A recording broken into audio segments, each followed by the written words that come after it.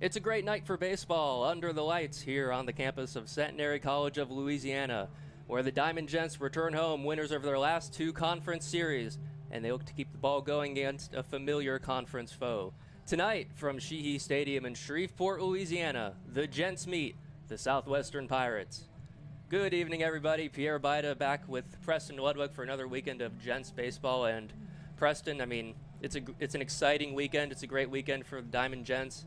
Uh, both these two teams are looking up at Trinity right now in the SCAC standings. The Gents just a half game behind the Tigers, and these Pirates a half game behind the Gents. So just one game separating the three teams atop the SCAC standings as we open play this weekend.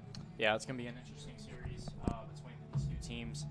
Uh, Centenary coming off uh, a good series against Schreiner, dropped their last game uh, a tough loss there. Just some mental mistakes, small mistakes that had a big impact on them overall. Uh, Southwestern coming off a, a three game win streak. They just finished up over at the University of Dallas. And uh, it should be a good series.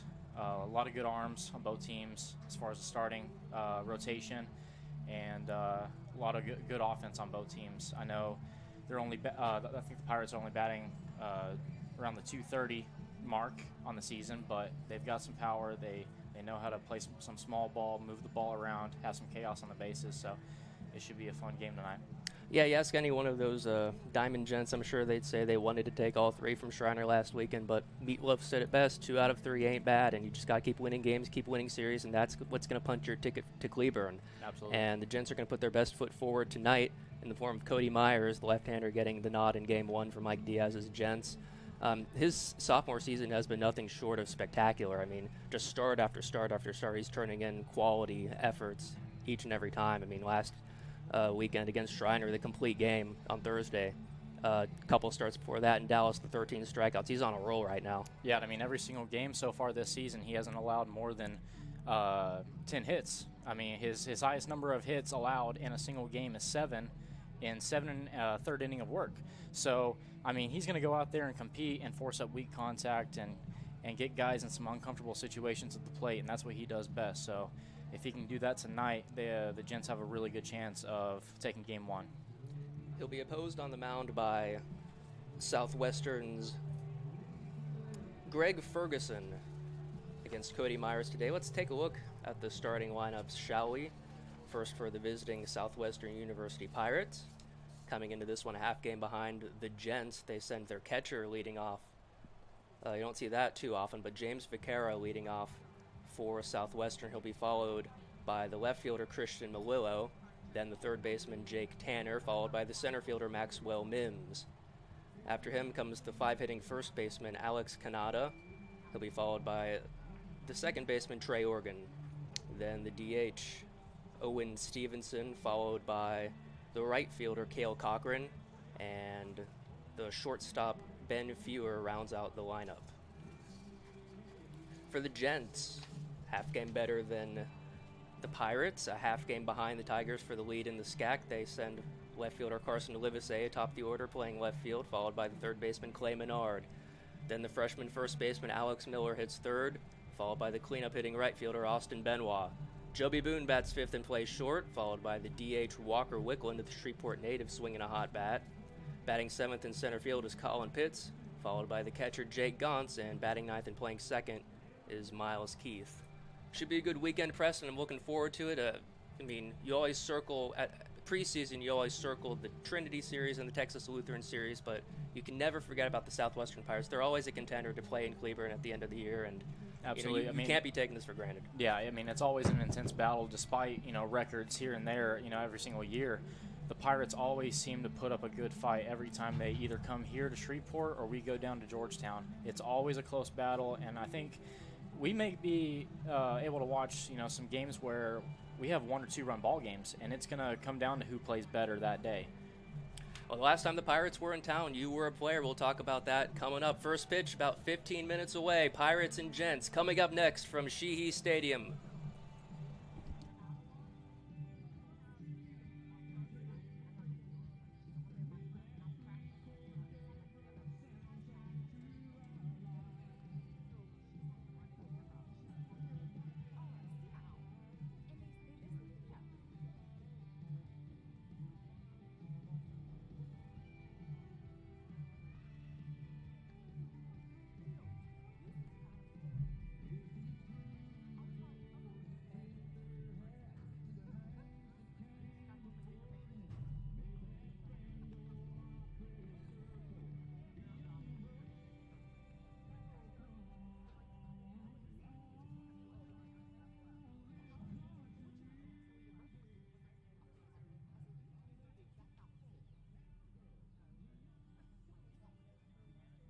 Ladies and gentlemen, good evening and welcome to CU Stadium for tonight's conference matchup between the Southwestern University Pirates and your Centenary Gents. Here are tonight's starting lineups. First for the visiting Pirates. Leading off and catching, number three, James McCarrow. And second, playing left field, number 13, Christian Melillo. And third playing third base, number eight, Jake Tanner. Batting fourth and playing center field, number 52, Maxwell Mims. Batting fifth and playing first base, number 38, Alex Tanada. Batting sixth and playing second base, number six, Trey Morgan. Batting seventh, the designated hitter, number 33, Owen Stevenson. Batting eighth and playing right field, number 25, Kale Cochran. Batting ninth and playing shortstop, number two, Ben Beard. And the starting pitcher, number 61, Greg Ferguson. The Pirates are coached by J.C. Bunch. He's assisted by Mike Montgomery and Scott Lacey. The Southern Collegiate Athletic Conference and the NCAA promote good sportsmanship by student coaches, and spectators. Profanity, racial or sexist comments, or other intimidating actions directed at officials, student athletes, coaches, or team representatives, including singling out anyone by name, number, or position, are grounds for removal from the site of competition and other disciplinary action. Public intoxication, as well as the consumption or possession of alcoholic beverages and or tobacco products, is strictly prohibited. Persons throwing objects or participating in other acts in conflict with good sportsmanship and fair play are subject to ejection. Thank you for your cooperation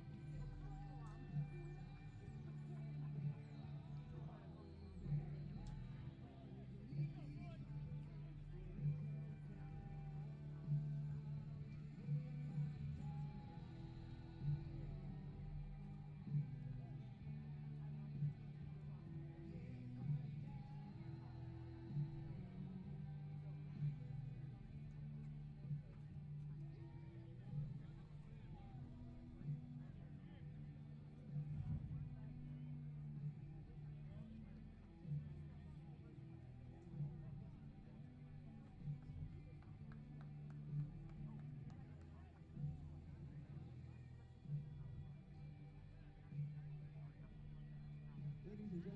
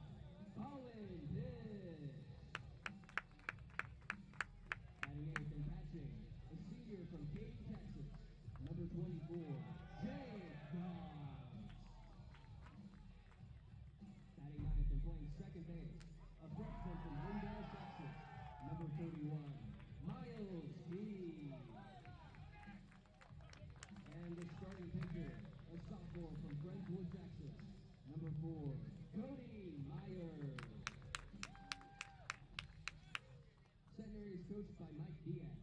He is assisted by Cody Crowder, Chris Zapata,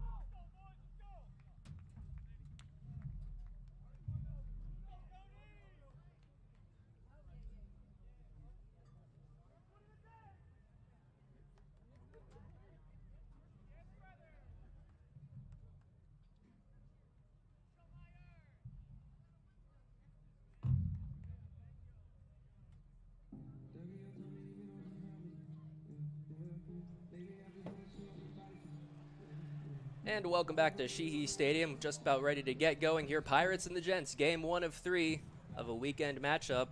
Two of the top three teams in the SCAC going at it here in Shreveport. Let's take a look at the, the Gents defensively tonight behind starter Cody Myers. Jake Gauntz doing the catching for the Gents left-hander. From left to right across the infield, it's Menard at third, Boone at short, the freshman Miles Keith at second, and Alex Miller at first. Pair of freshmen on the right side of the infield for Centenary. In center field, it is the sophomore Colin Pitts. He's flanked by Carson Livesey in left and Austin Benoit in right for Mike Diaz's Gents as they look to keep the ball going against Southwestern. They've won each of their last two conference series that on the heels of a split against Dallas in a rain shortened series to open up conference. About halfway through the conference schedule, and it's crunch time for the Gents looking to make their mark and have potentially another trip to Cleburne in early May. First weekend in May, uh, Gents are hoping to be back in Cleburne. They're, they seem to be there year in and year out, and these Pirates were there last year. I remember that one, one of the games against Southwestern, and man, I mean, these these two teams, they they, they do battle just like the rest of them. I mean, like you always talk about Trinity and, and TLU, but the Pirates and the Gents have some good series. They've had good series over the years. Yeah, both very just gritty teams. Uh, guys that just bear down and just try and get the job done, whether it's defensively or at the plate. Well, it's James Vasquez, the catch, or Vaquero, beg your pardon. James Vaquero leading off for the Pirates to begin matters here in game one. Cody Myers getting the ball for the Gents, and we're just about ready to get going. Leading off for the Pirates, catcher number three, James Vaquero.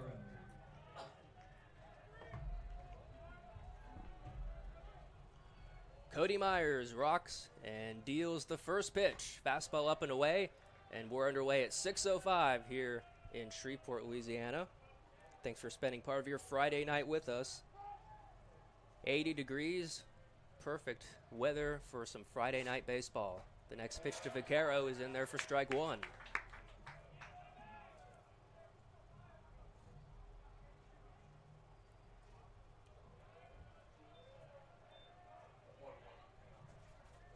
One and one pitch, swing and a miss.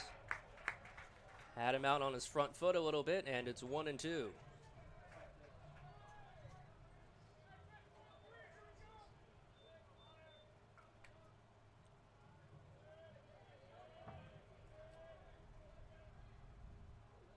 Turns and takes a pitch inside, and the count evens at two and two.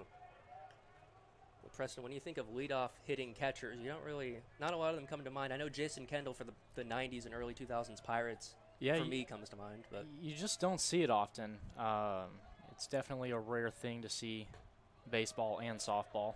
Um, usually have an, an outfielder or a speedy middle infielder kind of leading off your lineup. So definitely an interesting move by Yeah. the Pirates. Yeah, because the catcher is generally supposed to be the big, bulky guy who's going to block a lot of the pitches. As Vaquero lines that one into the left center field gap, that's going to get down. Livesey over to cut it off, and Vaquero puts on the brakes around first. That's how we get going tonight. A leadoff single for Vaquero.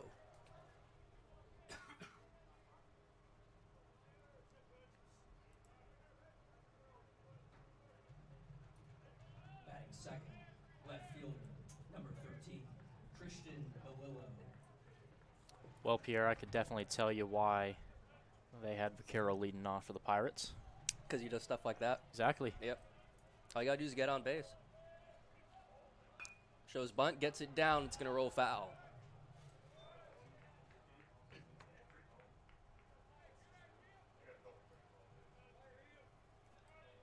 Christian Melillo coming into this one with 80 at bats on the season, 14 hits with a 175 average, but leading the Pirates in doubles with four on the year and two home runs. Again, showing bunt, it's in the air and well foul.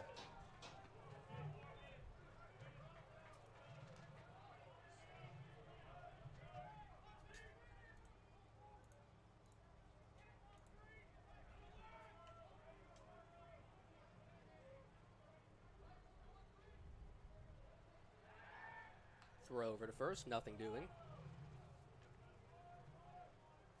Vaquero over at first base with seven stolen bases on the year, caught stealing four times. Wind into left. And that's back to back singles for Southwestern. Throw comes into third, and Willow aboard with a hit.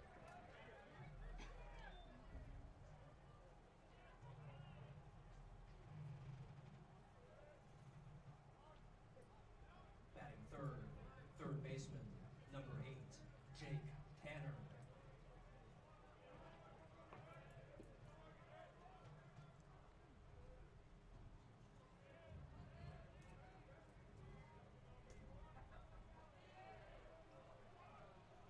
Here's the third baseman, Jake Tanner. He shows bunt. And pitch just misses.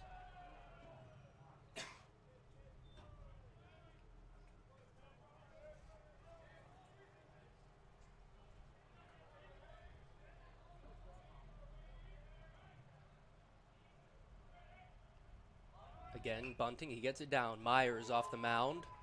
Throws on to first. Not in time. Umpire says that second baseman Keith covering came off the bag and the bases are loaded.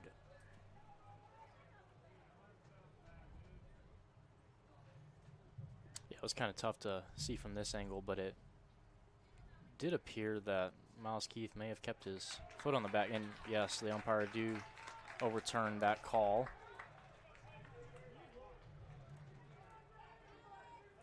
Batting fourth, center fielder, number 52, Maxwell Mims. So Jake Tanner with the sacrifice bunt credited to his name. First pitch swing and a miss from Maxwell Mims. It's nothing in one on the Pirates center fielder. Mims, the team leader in home runs for the Pirates with four on the year, also leading with 31 RBI. Pitch misses high. It's one and one. Now, I did get the opportunity to play against Max back when I was still a player here, and he's definitely a threat at the plate. And Cody Myers is going to have to battle up here and find a way to get out of this inning. And that overturn call may be big for the Gents. Now it's just a couple runners on. They're both in scoring position. One down. Myers trying to strand him. The pitch. Up and in.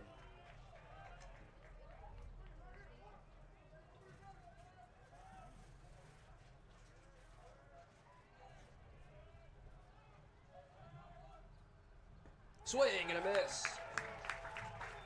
Struck him out on a pitch in the dirt. Got him to fish for it. That big second out for Myers.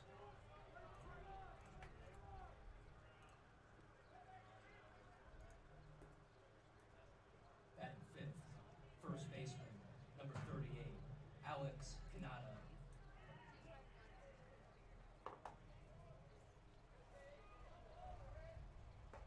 First pitch to Kanata in there for a strike.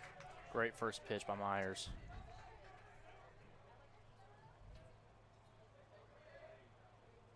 Swing and a miss. And quickly it's nothing in two.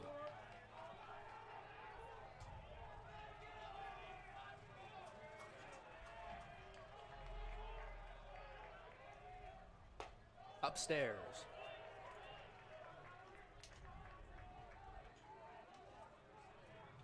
Good setup pitch by Myers, trying to elevate the fastball. This will be a huge out for the Gents if Myers can get out Kanata. Winding to right. Benoit makes the catch. And Cody Myers strands a pair of Pirates on base. We'll go to the last of the first. It's the Pirates nothing. Gents coming to bat.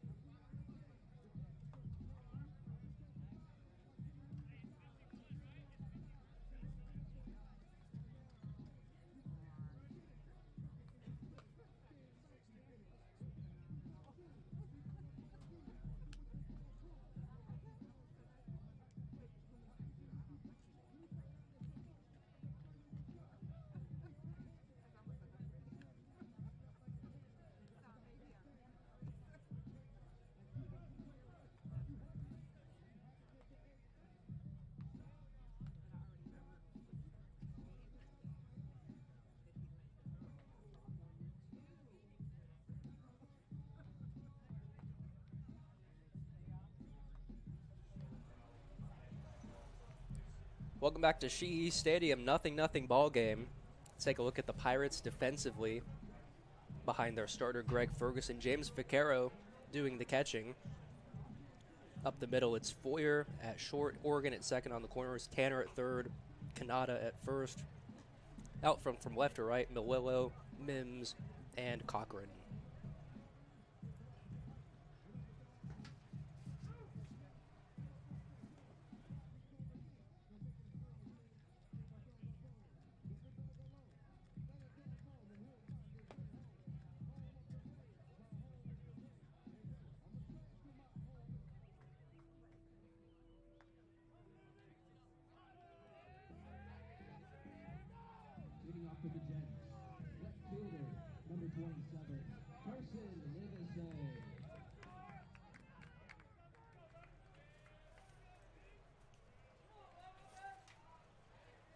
Greg Ferguson on the mound for Southwestern. He winds and deals. First pitch to Carson Livesey inside for ball one. Livesey, Menard, and Miller, top third of the Gents lineup, due up.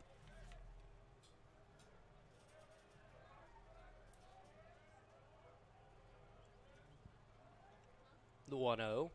Lined into left, but unfortunately for the Gents and Livesey, that's going to hang up for Melillo out there for out number one.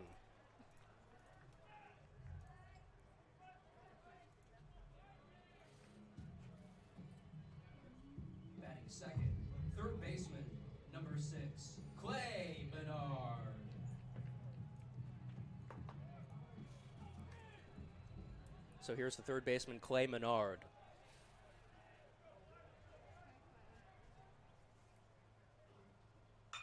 Slashed foul sharply, left side. He'll get out of play.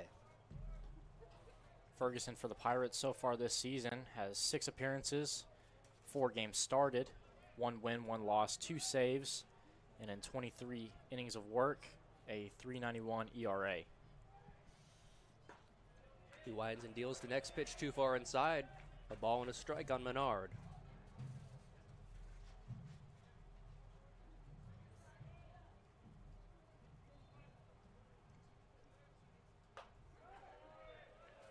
Up and away, two and one.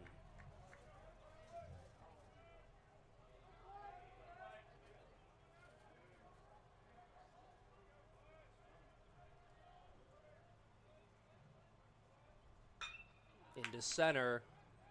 In and then back is the center fielder Mims. He reaches up and makes the catch. And two down for the Gents.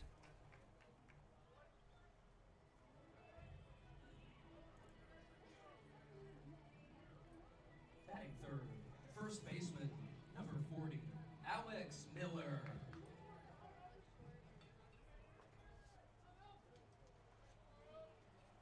So here's the freshman first baseman Alex Miller.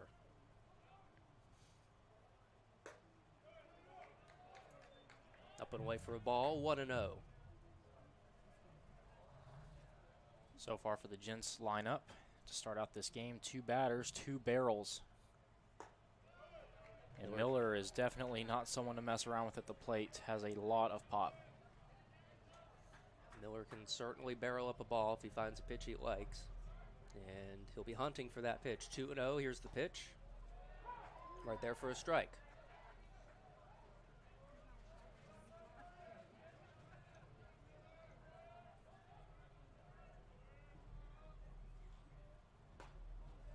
Two one fastball is in, and the count evens at two and two.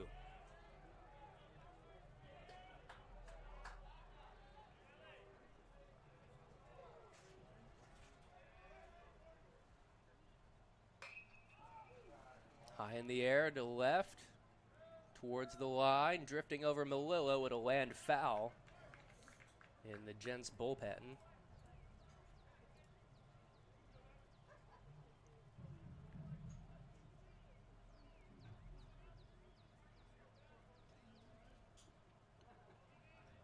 Miller way out in front, in front of uh, that off-speed pitch by Ferguson. Wouldn't be surprised if tried to dot the outside corner again with a slider.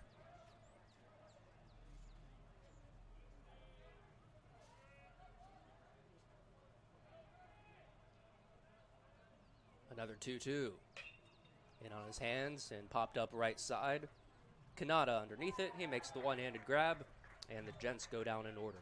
We'll head to the top of the second inning. It's the Pirates nothing, Gents nothing.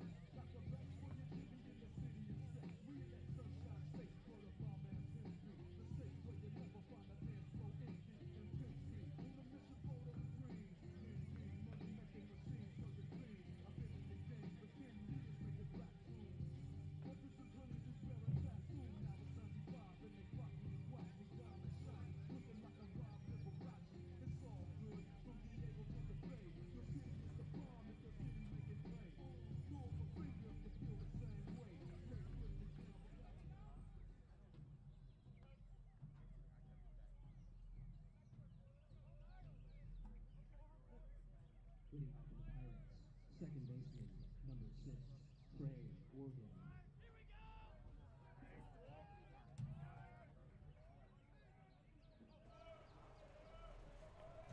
It's the second baseman Trey Morgan leading off for the Pirates against Cody Myers, who winds and deals a first pitch strike. Morgan, Stevenson, and Cochran due up for Southwestern in their half of the second.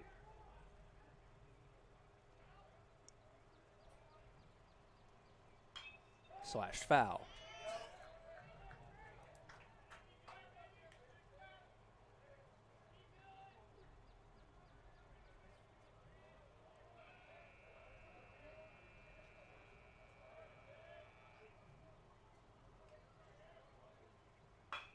Grounded to third on a couple of hops. Menard up with it.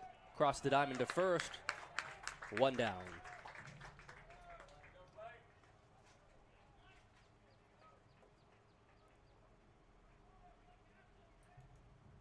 Batting seventh, designated hitter, number 33, Owen Stevenson.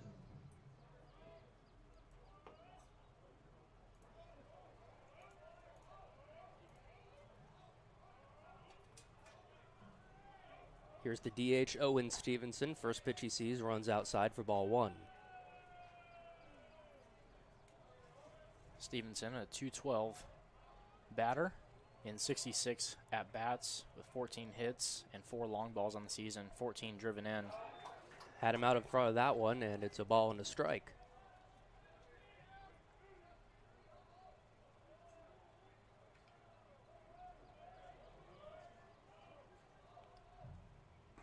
Swing and a miss.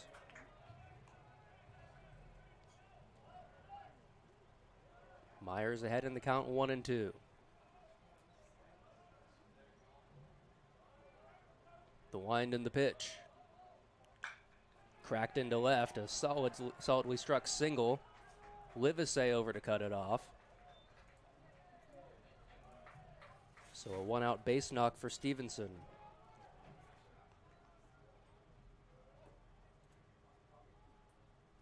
Batting eighth, right fielder, number 25, Cale Cochran.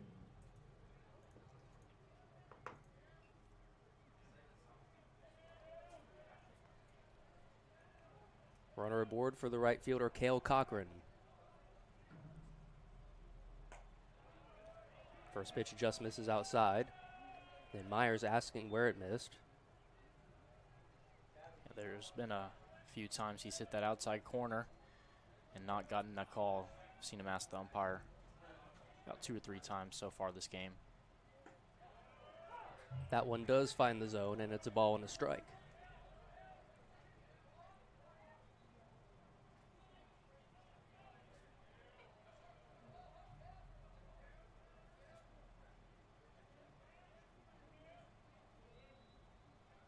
Swing and a miss.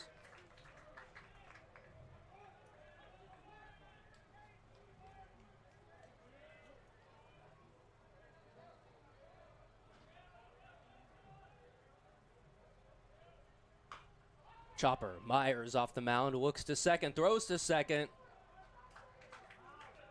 In time to get him. Well, now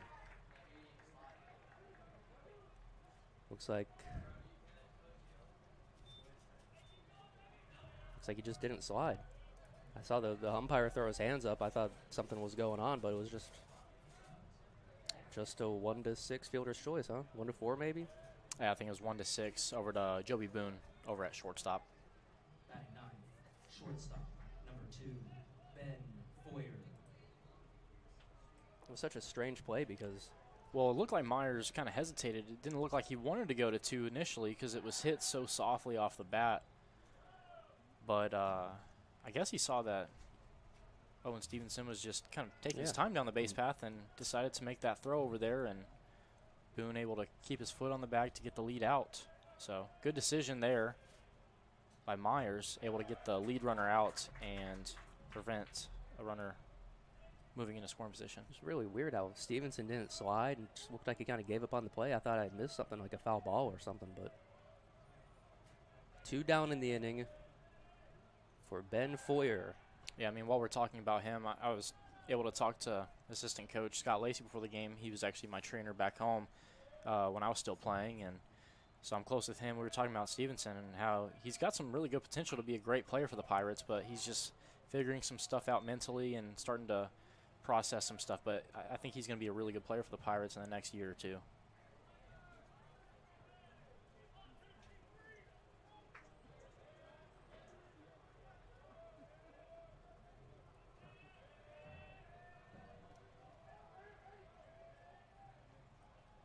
O Oh, two pitch. Grounded left side. That's going to sneak through into left for a base hit. So the inning stays alive thanks to a Ben Foyer two out single. And the lineup turns over for James Vaquero.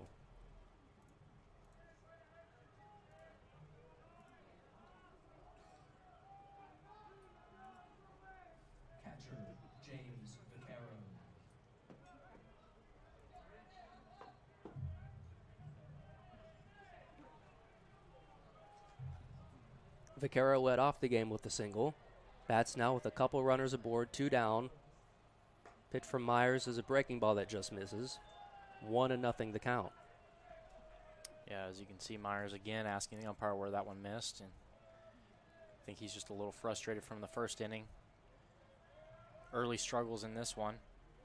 Still no runs to this point in the game, but I, I know it can be frustrating giving up early hits in the game as a pitcher. I mean, he's already at four hits. That's as, that's as much as he uh, gave up in his last outing against Schreiner in seven innings of work.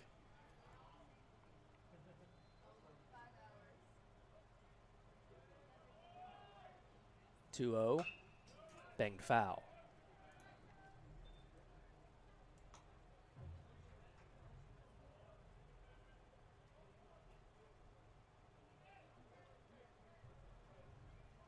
Two balls and a strike on Vaquero.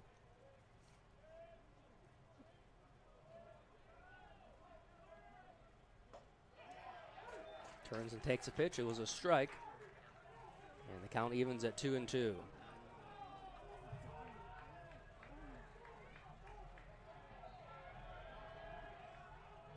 Dugout coming alive for the Gents. Here's the 2 2. Swing and a miss.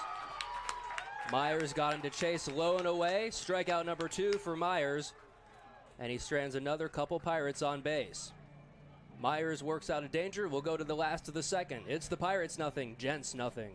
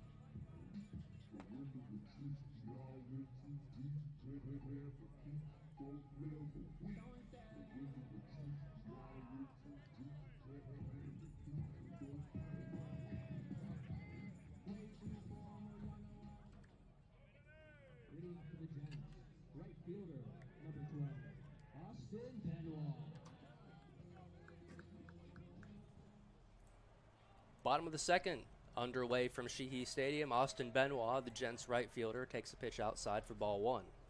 It's Benoit, Boone, and Wickland, four, five, and six in the Gents order due up. Nothing, nothing ball game. Pitch from Ferguson on its way.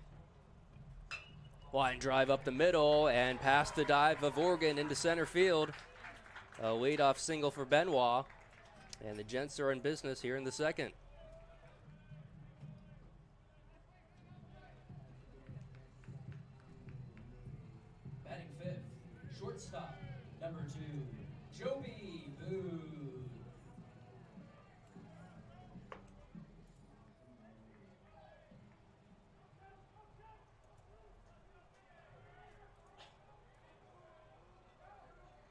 The Gent shortstop, Joby Boone. First pitch swinging, grounds it left side and through.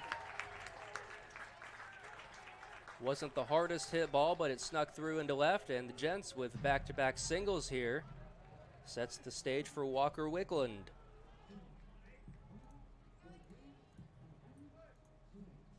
Batting sixth, designated hitter, number 18, Walker Wickland. Yeah, Pierre, before I could even get a word out of my mouth, Boone's going uh, and knocking a ball through the left side.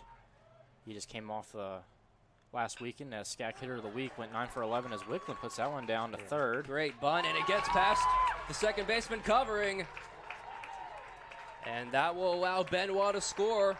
Gents up one to nothing. A costly error for the Pirates.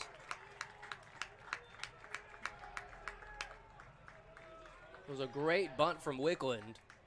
And the errant throw by Tanner allowed Benoit to score. Here's Colin Pitts. Batting seventh, center fielder, number 25, Colin Pitts.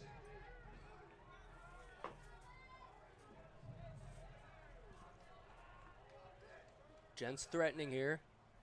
Already pushed across the one run, and Colin Pitts takes a breaking ball in there for strike one. Pitts, a guy with a lot of power. Perfect opportunity with a couple runners in scoring position. The 0 1, low and away.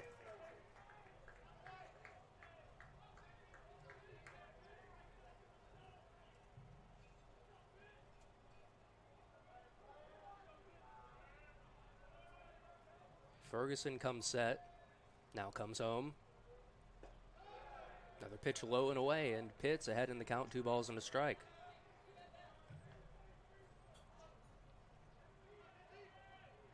Boone at third, Wickland at second.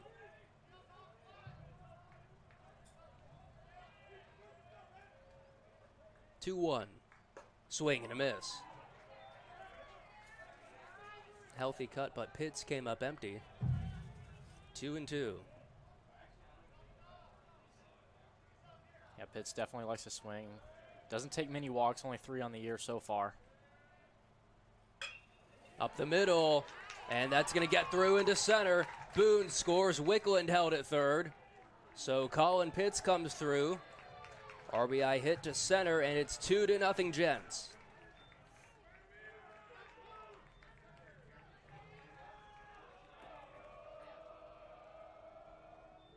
Batting eighth, catcher, number 24, Jake Gauntz.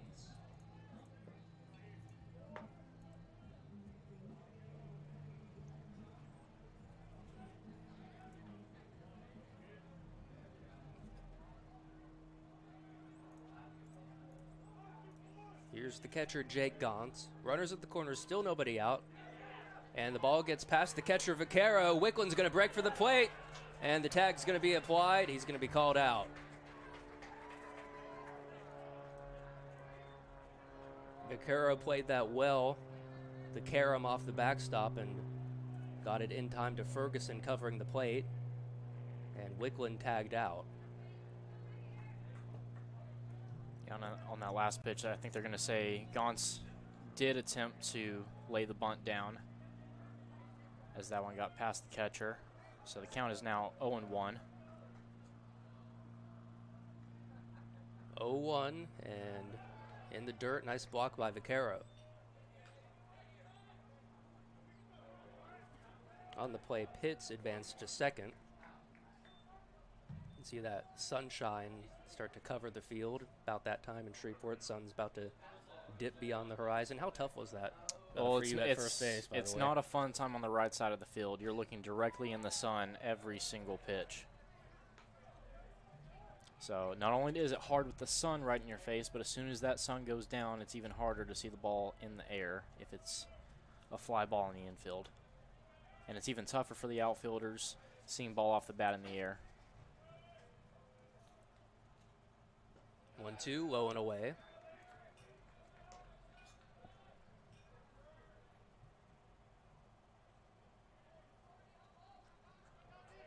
Gone swinging a hot bat for the Gents right now. 361 average on the year with 12 RBI. Great opportunity for him to knock in the run from second. Ground ball right side. Good situational hitting from Gauntz. It's going to be a 4 3 ground out as Morgan throws on to first, but Pitt's able to take third. So with two down, that'll bring up the second baseman, Miles Keith. Batting ninth, second baseman, number 31, Miles Key.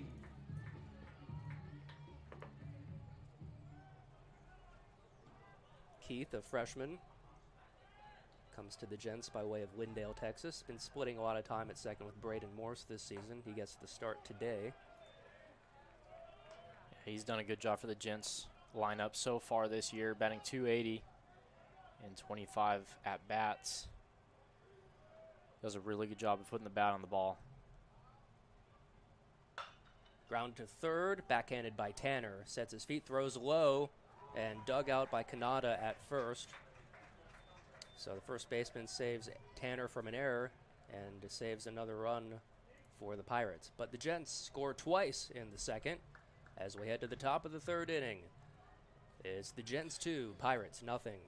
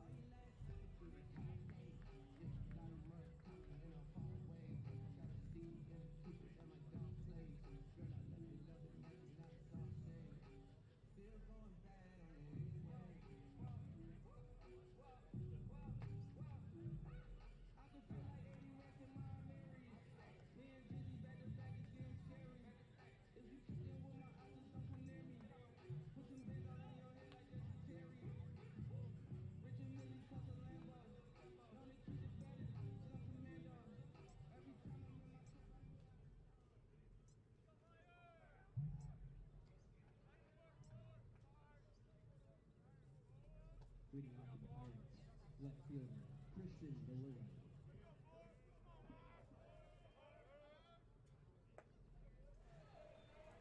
Back here at Shehee Stadium, Gents lead two to nothing, and Cody Myers back out there for the Gents, facing Christian Melillo. First pitch misses for a ball. It's one and zero. Two, three, and four in the Pirates lineup due up as Melillo takes pitch, just misses up high, and it's two and nothing on the Pirates left fielder.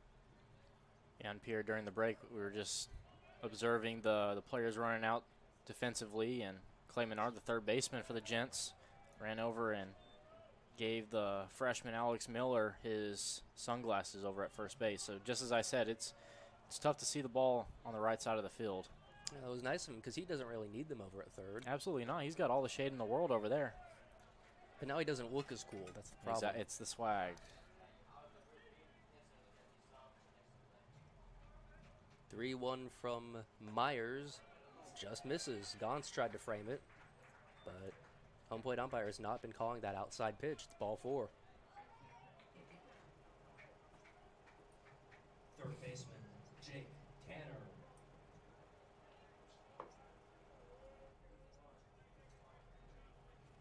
Runner aboard for Jake Tanner.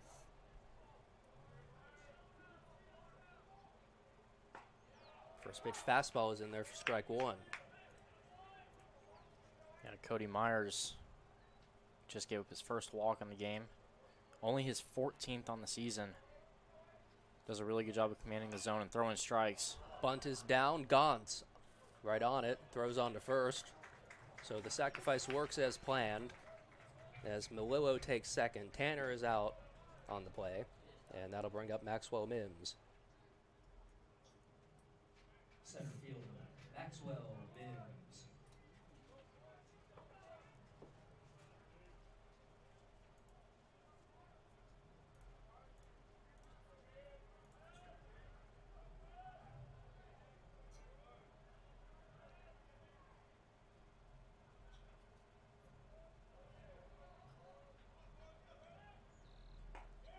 First pitch swing and a miss. Nothing in one the count.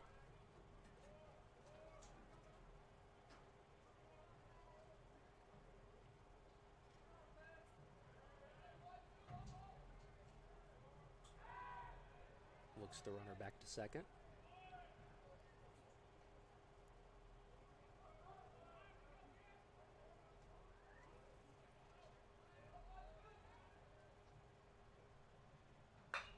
Wind into left. That's going to get down in front of Livesey. Runner's going to be held at third. He goes through the stop sign. Menard's throw to home This is going to be in time.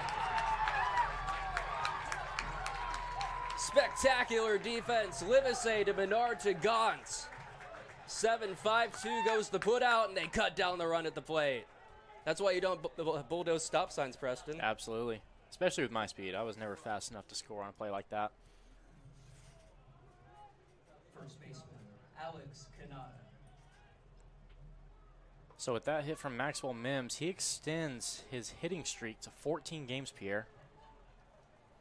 Yeah, I mean, he's hitting cleanup for a reason. He's been a stalwart in that Pirates lineup year in and year out. In fact, I was just looking at, as Myers throws back to first, I was looking at the uh, lineups from the last time the Pirates were in town here in Shreveport a couple years ago, April 23rd of 2022, senior day that season here at Shehee Stadium. As Myers comes home, lined into left over the head of Boone.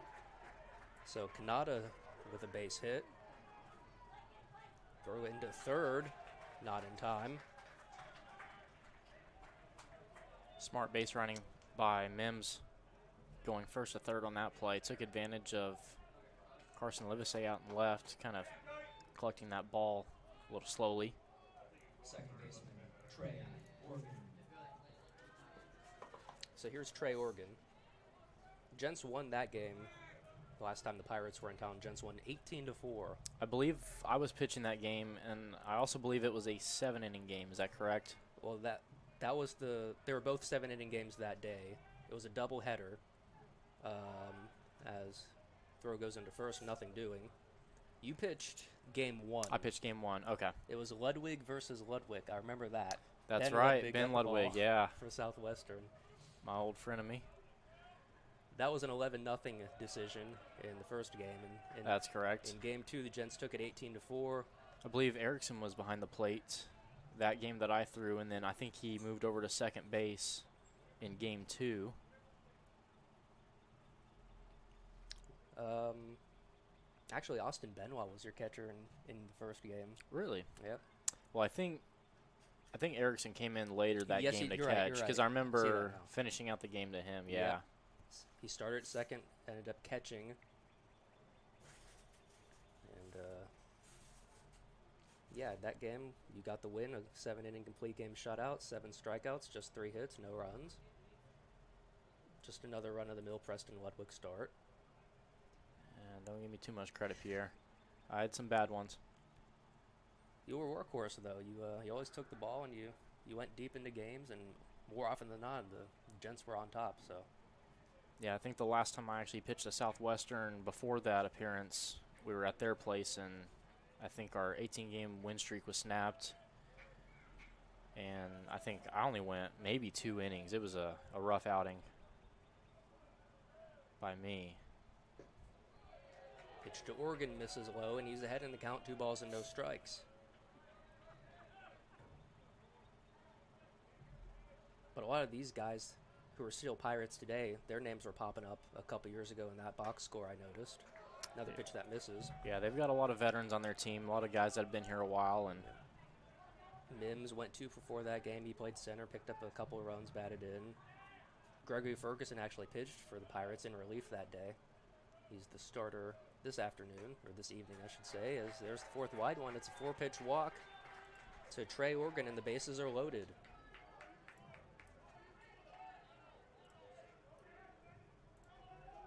Designated hitter, Owen Stevenson.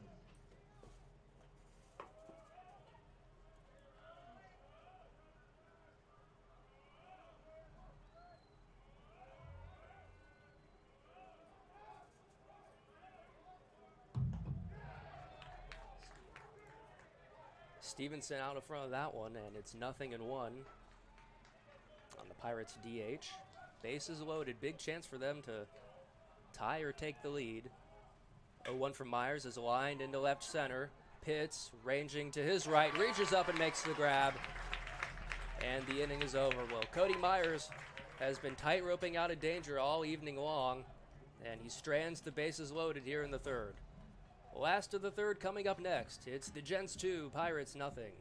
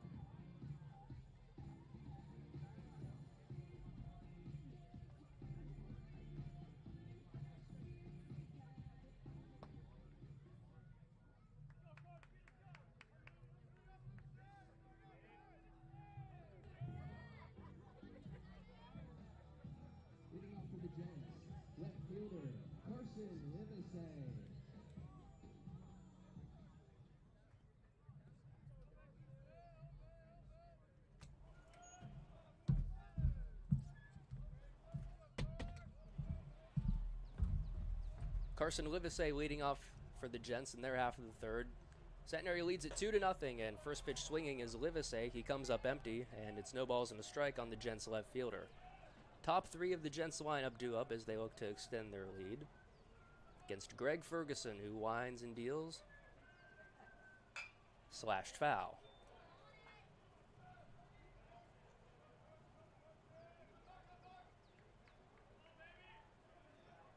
Last two time or last time these two teams met was last year in Cleburne during the SCAC baseball championship tournament.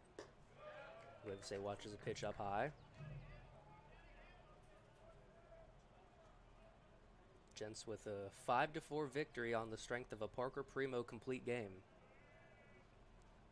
Sure fans of both these teams remember that day. They were watching. Pitch up high.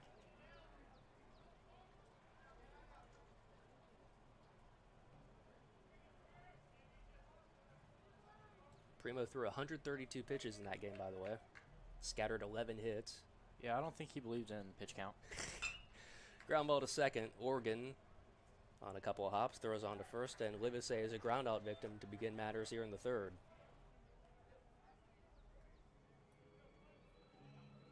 Third baseman, Clay Menard.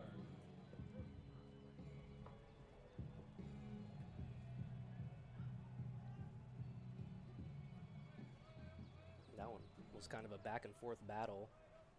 Austin Benoit homered that game, and so did Colin Pitts, both in the second.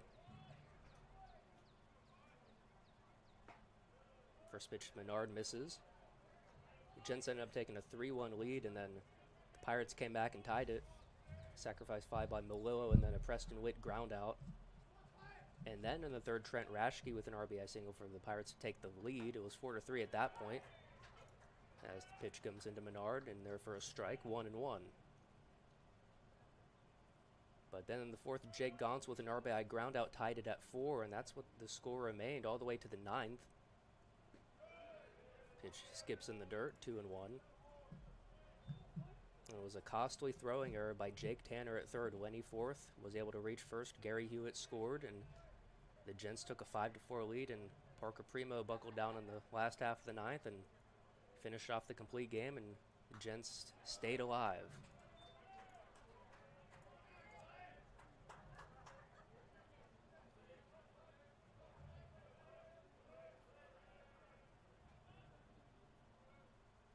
Two two. Sent out into left. Melillo underneath it makes the catch. Two down.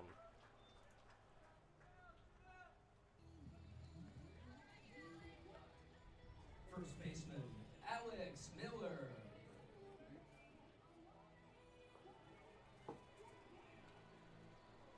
So here's Alex Miller.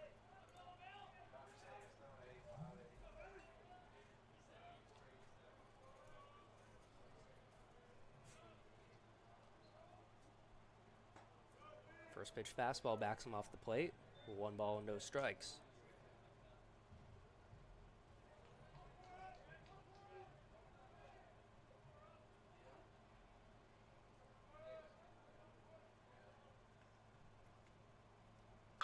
Line drive to left. It's going to get down but foul.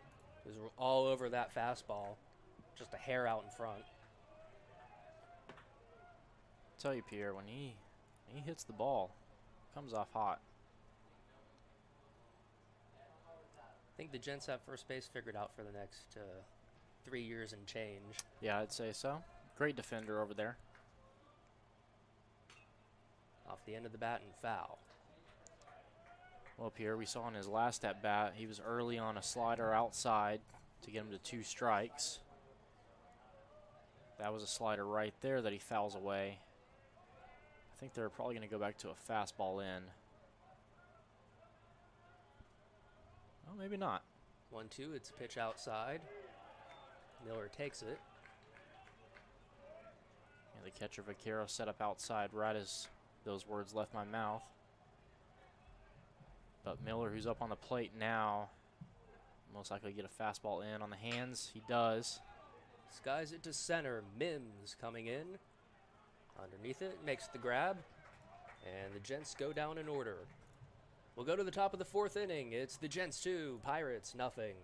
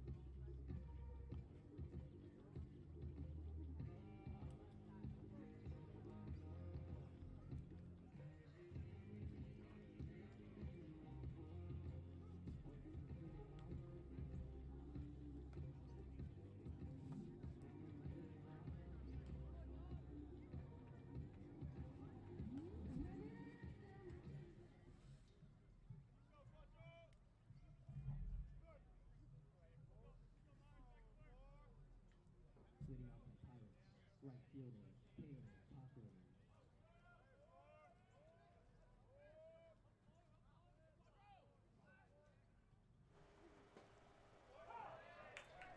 First pitch is in there to Kale Cochran. Nothing in one as Cody Myers begins his fourth inning of work for the Gents.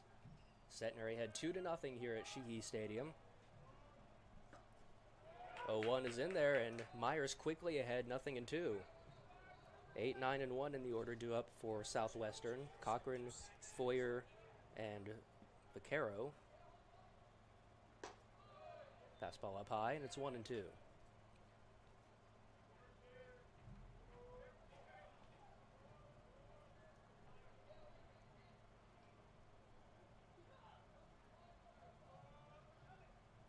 Swing and a miss. Got him to chase. Gauntz throws down to first to complete the K. Strikeout number three for Myers.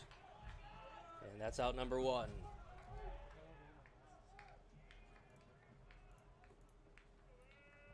Shortstop, Ben Foyer.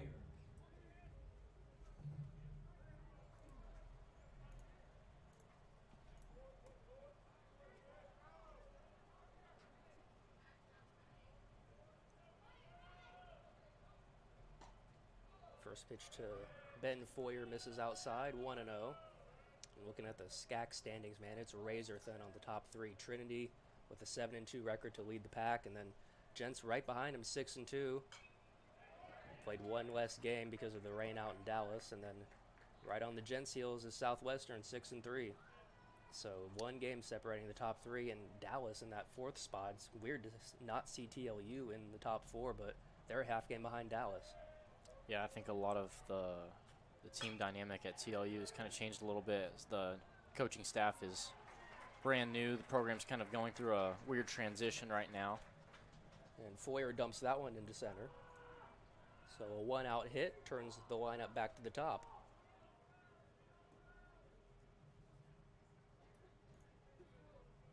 Catcher, James Vaquero.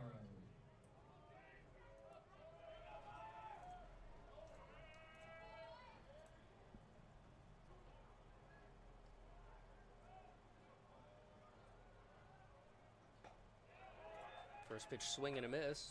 Nothing in one.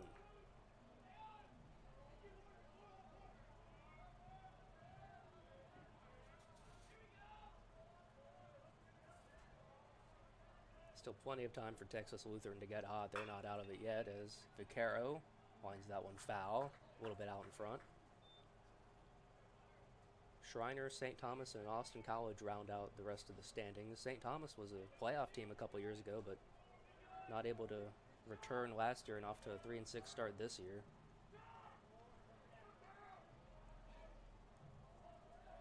Well, it's still a little early in conference play, so there's a there's an opportunity for every team to make a comeback and buy their ticket into the conference tournament in Cleburne, Texas. Soft fly ball, right center field, and Keith going out. It's going to drop. Have been an impossible play, and it falls just out of Keith's range. So back to back hits for the Pirates. That brings up Christian Melillo. Left fielder, Christian Melillo. Yeah, right before that ball was put in play, I was watching the center fielder Colin Pitts kind of shading towards left center, and I mean, even if he was playing regular depth and straight up, I still don't think he makes that play. That that ball was just placed perfectly in between second base, center, and right.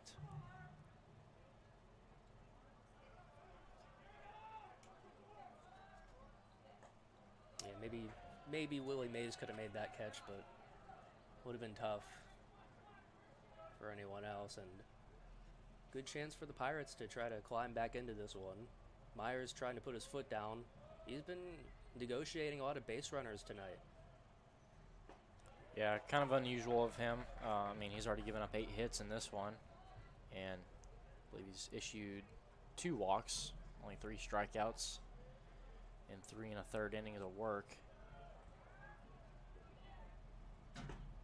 Swing and a miss. Pulls the count back even, two and two.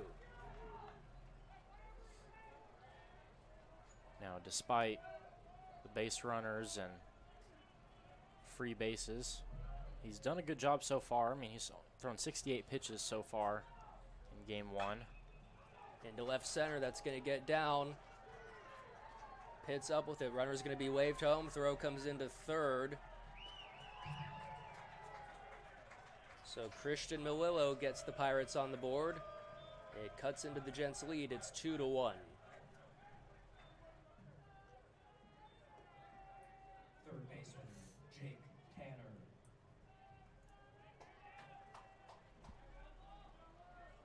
So the carousel on the base paths finally comes back to bite Cody Myers. Still two runners aboard, one down. Gents lead is trimmed to one run, two to one. Top of the fourth inning here at Shehee Stadium. From the stretch, pitch from Myers. In there for a strike. Nothing in one on Jake Tanner. Really got to buckle down now heading into the heart of the Pirates lineup. Yeah, with that run that just got driven in by the Pirates. That'll be the first run given up by Cody Myers since March 23rd against Austin College here. In the dirt, Gauntz throw to third. Wow. Got him by a mile.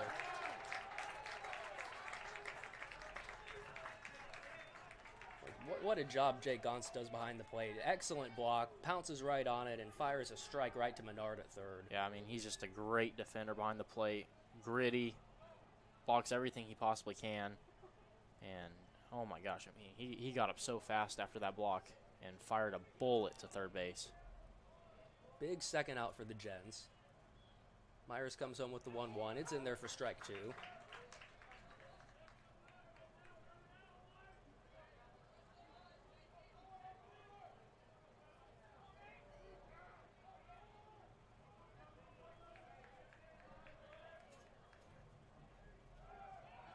Dirt, another block by Gauntz.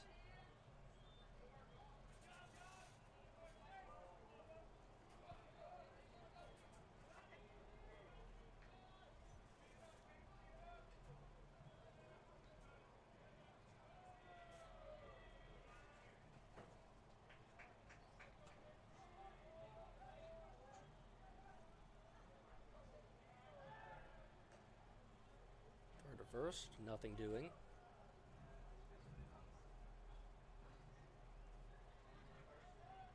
Melillo on first base, a base running threat with nine stolen bases on the year, has not been caught stealing.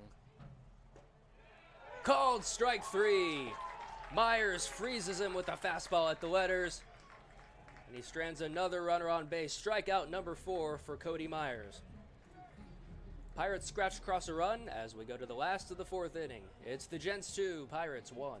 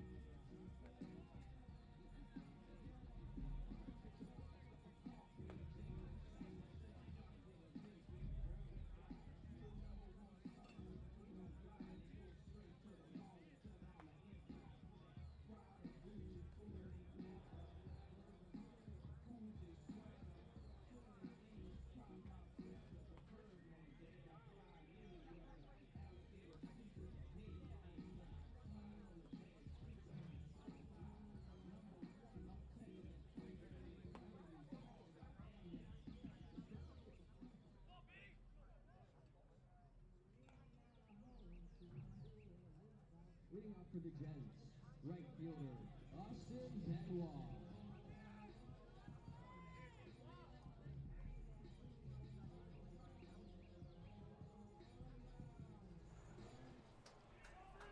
Middle third of the Gents lineup due up in their half of the fourth. It's Benoit, Boone, and Wickland against Greg Ferguson, who fires in a first pitch strike. It's nothing in one.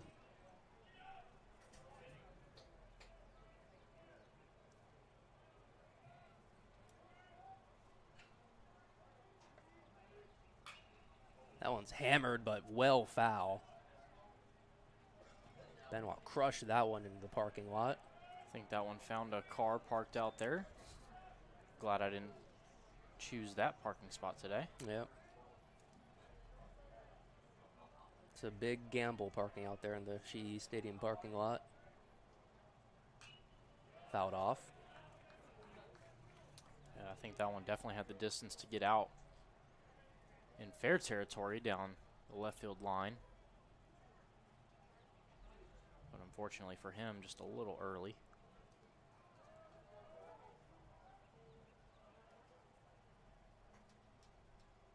Up high. I believe it was 2021.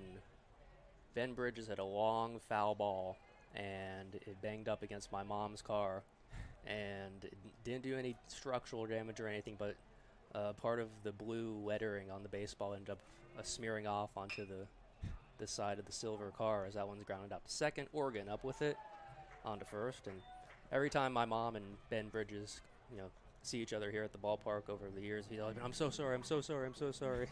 that's that's just Ben Bridges if you know him. Shortstop, Joby Boone. Yeah, I think there was only one one instance where I denoted a car. uh, No, actually, I, I scratch that twice. Uh, I was out here by myself one day and I hit a former basketball player's Mustang out behind the left field wall. I was taking some BP with some friends and hitting some front toss on the field, and he chose the wrong day to park behind the left field wall. And then the other time was another Mustang, believe it or not. Uh, I think it was actually Connor Poche's girlfriend. That one was also on a home run, but it was in a game against Bipsy preseason.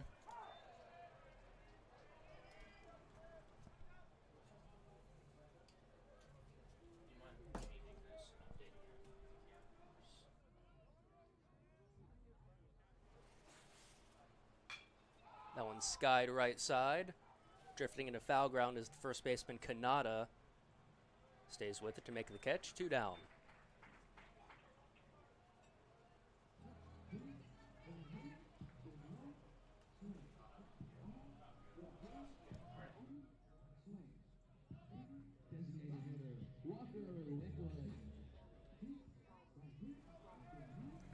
So here's Walker Wickland. Yep. Bossier Parish Community College, a one-time gent standout, does the head coaching over there now, Bobby Gillum. As that one's lined on a hop, picked by Kanata. Steps on the bag, and the Gents go down in order. We'll go to the top of the fifth inning. It's the Gents 2, Pirates 1.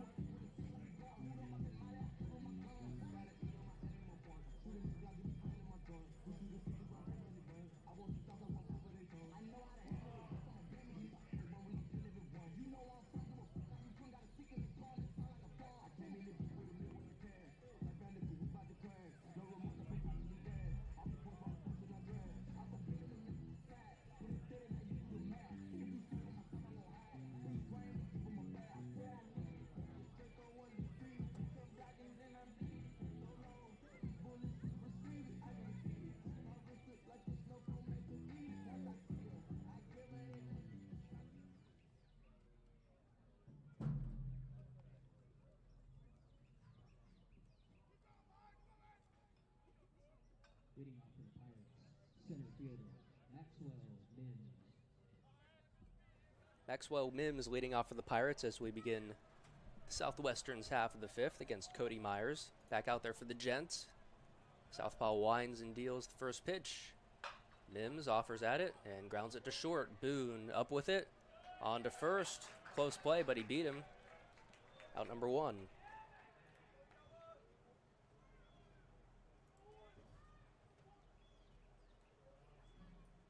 First baseman, Alex Kanata. Here's the first baseman, Alex Kanata. Yeah, Mims, who just grounded out, almost legged out his second hit of the game. So that one just got him by about a half step. First pitch strike, and Myers ahead in the count, nothing in one.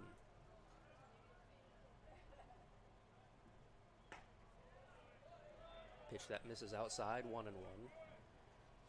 So Bobby Gillum, head coach over at Bossier Parish Community College, number of years as a gent standout, ended up playing pro ball here in town back when the Shreveport then sports were at Fairgrounds Field. Many years they were the captains and they were affiliated for a long time with the San Francisco Giants, a couple years with the Pirates.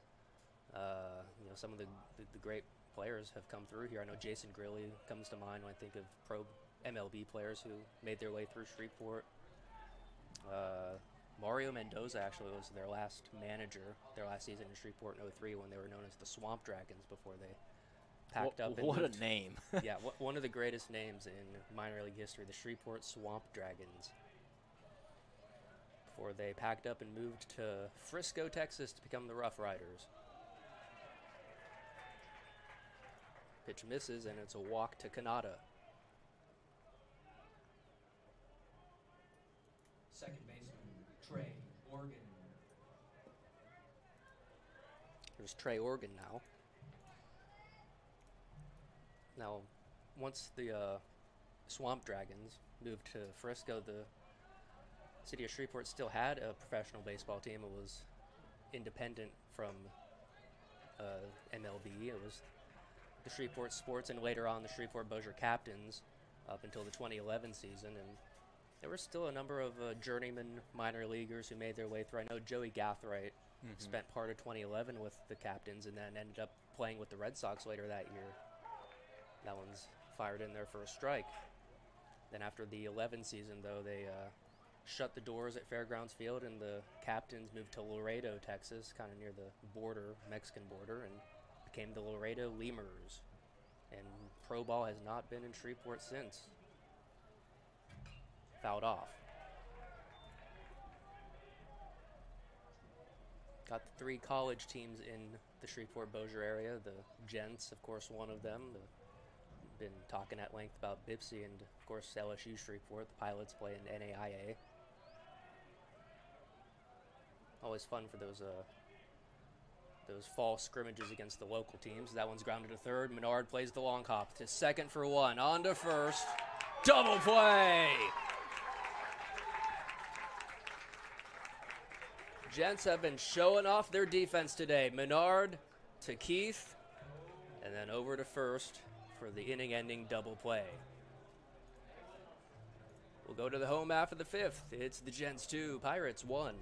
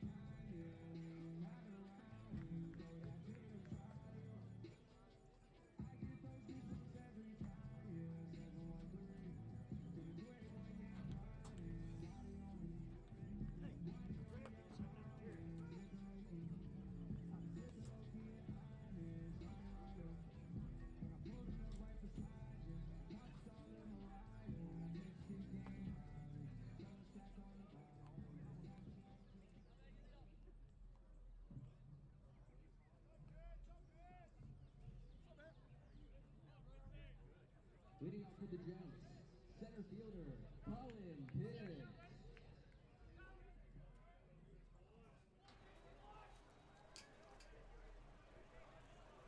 Colin Pitts leading off for the Gents in their half of the fifth.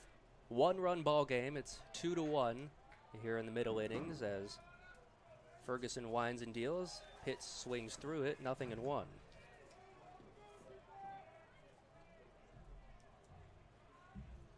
Thing about telling a story here on the broadcast is that the, these games are just so quick and plays happen so quickly and snappily that you're in the middle of, of saying something and the inning's over.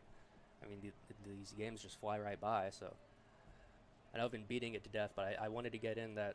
You know, I was lucky enough to play for Bobby Gillum for three years at Southwood High School here in Shreveport, and you know, kind of made that connection when I decided to go to Centenary my senior year. And, and two of my coaches there actually were former Gents, Morgan Bryan, the other, and our crack SID here, Patrick Mahan, knows them quite well, uh, being former classmates with him at Loyola College Prep here in town. So that comes full circle. It's pretty cool. The small world, Pierre. Yeah. Two and one to count on Pitts. Pitch is right there, and it's two and two. Good front door slider there, but Pitts thought that that one was up above the zone.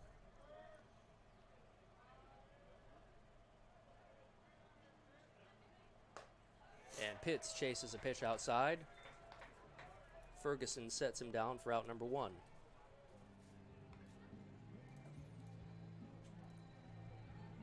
Catcher, Jake Gauntz. Here's the catcher, Jake Gauntz. Now I don't remember the team, but I'm I know that you met up with a guy who you knew from Pflugerville at some point during your playing time here. I don't remember who it was or what team he played for, but it just wasn't often that you saw two guys from Pflugerville uh, on the same field. Uh, play like an opposing player. Yes. Ooh. Well, uh, Kanata for the Pirates. Really? He's from Austin. Okay. Uh, but uh, he actually went to St. Michael's Catholic Academy, which is where I actually practiced Wow. for my select team back when I was growing up. Um, but yeah, I mean, I think there's been a few, few players roll in uh, from Pflugerville. I know there was uh, there was a player that went to Hendrickson, which is just down the road from my house. Uh, I think he actually plays for uh, for SEMO now. He's a transfer. Wind foul. Just wide of the third base bag. Yeah, it's not coming to mind right now. I'm, I'm sure I'll think of it by the end of the broadcast tonight. But I mean, we've had a, a multiple uh, people that have you know I, I, I've played with or been around in the baseball world growing up in my childhood. I know we've had Gary Hewitt, former alumni. He went to Cedar Park, Yeah. so uh, you know not too far from me. Chopper up the middle. Raging far to his left and making a nice 360 spin move, but not in time. Foyer tried to make a really nice play up the middle, but Gauntz able to leg it out. Gents catcher showing some good speed to get down the line. Second baseman, Miles Key.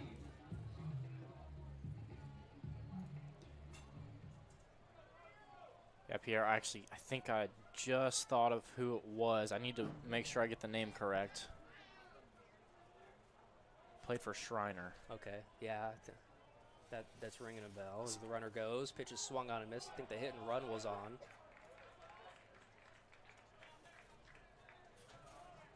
So Gauntz able to get to second.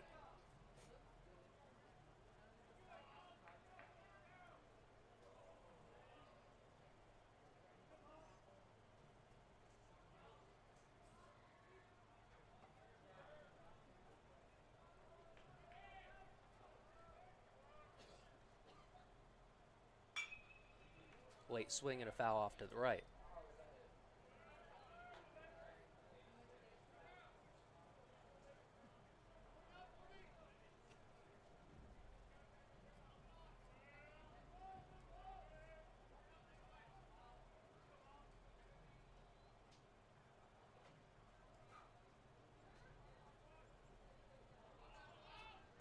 Stephen Gomez.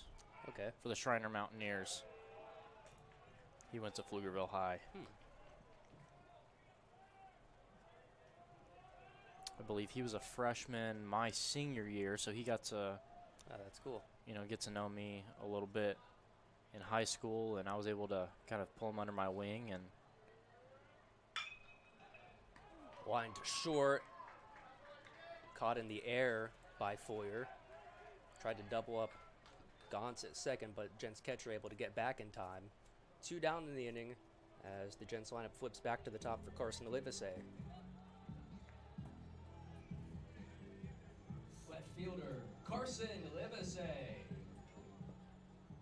yeah, just before the line out right there uh, by Keith, just to finish my thought, yeah, I was able to, you know, pull Steven under my wing in high school a little bit, and then he was able to watch me play in college when he got here as a freshman, and I know he was, you know, asking for some advice, you know, over social media, just trying to connect with me, and I was able to kind of, you know, be there as a mentor at an oppo- as a as a opponent at an opposing school. Third baseman Clay Menard. So a lot of cool memories, and I mean, uh, I mentioned it just a second ago. It's a small world, especially in baseball. Yep. Livesey hit by the pitch, so a couple of Gents aboard now for Clay Menard.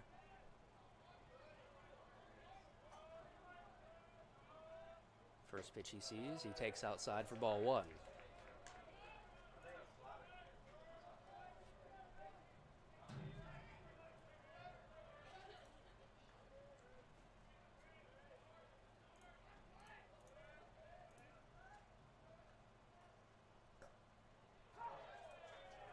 Catches his own, one and one.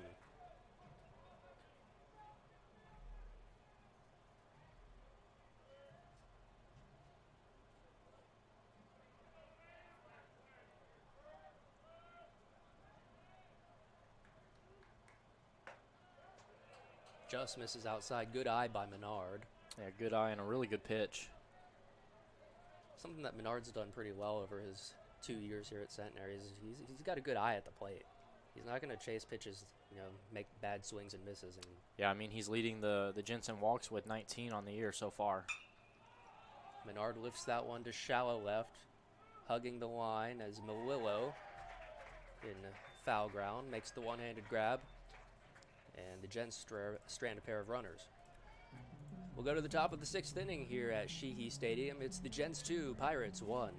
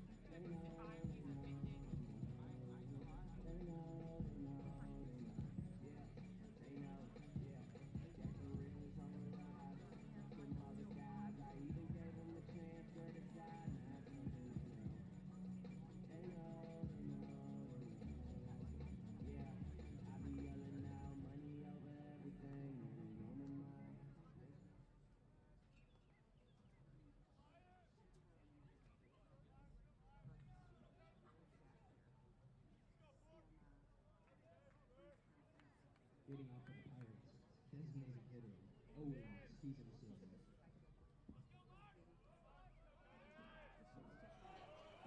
Owen Stevenson leading off for the Pirates. Top of the sixth inning. Gents lead two to one.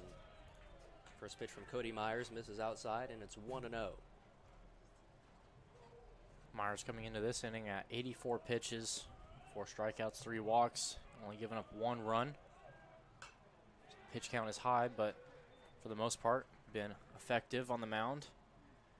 Had some struggles early in the game, but has kind of toned down and dialed it in.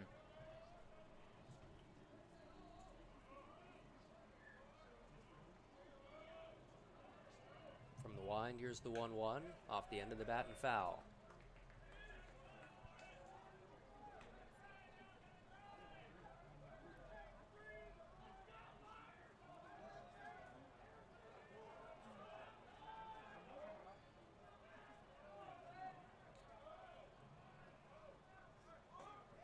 Outside, two balls and two strikes.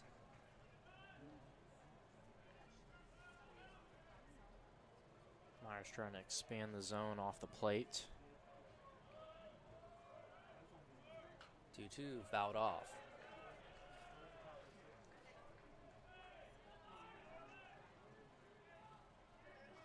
If Myers is able to command his changeup, this may be the time to use it induce a rollover. There Swing it is. and a miss. Good call, Preston. Got him to chase the changeup. Strikeout number five for Myers.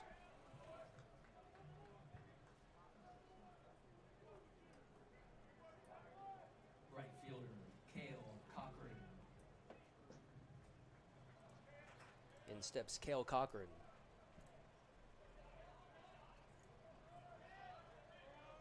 First pitch from Myers on its way. Shows bunt. Pulls back and the pitch misses. It's 1 0.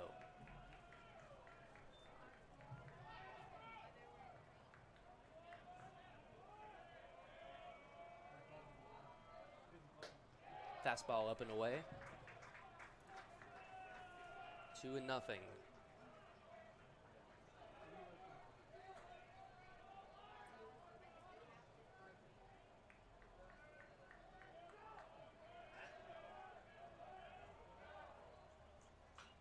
Fouled off.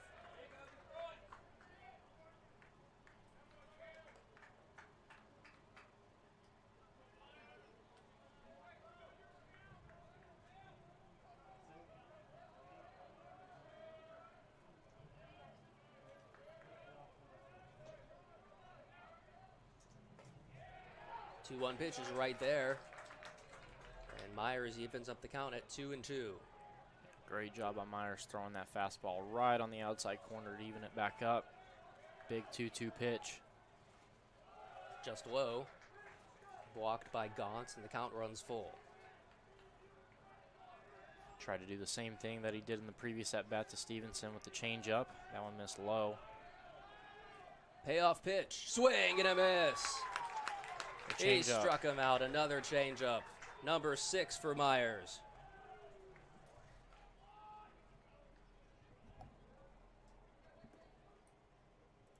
Shortstop, Ben Foyer. That'll bring up the shortstop, Ben Foyer.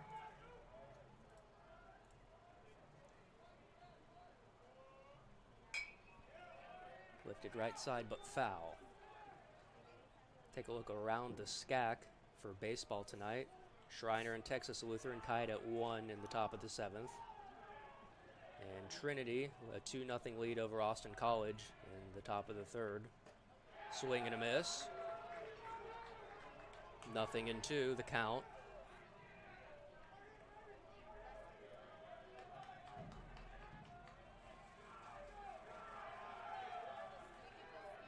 The wind in the 0 2. Taken low.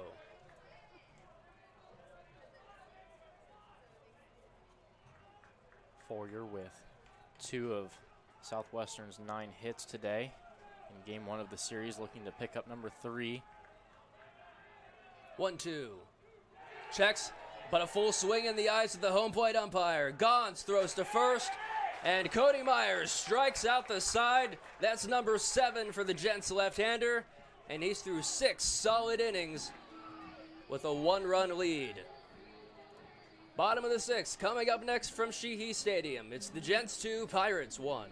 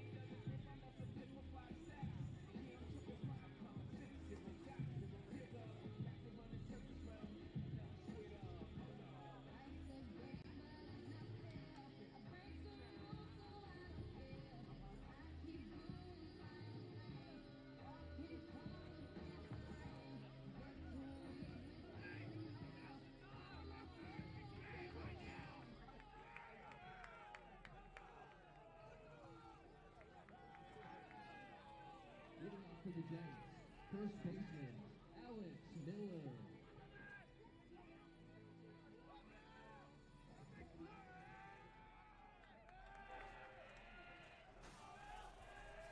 Alex Miller leading off for the Gents.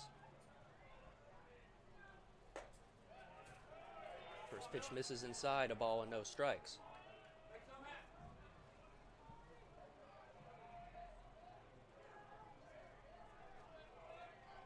In the 1 0. Pitch misses low, and it's two balls and no strikes on the freshman first baseman Alex Miller.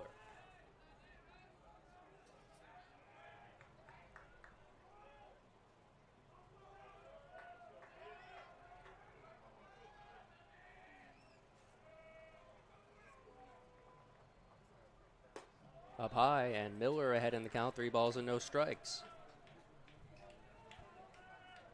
Austin Benoit waits on deck. He'll hit next. 3 0 on its way.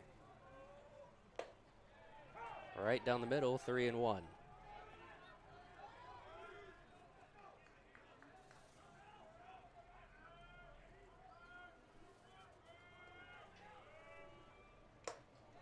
Swing and a tip into the mid of the catcher. And Ferguson able to work the count back. It's 3 and 2.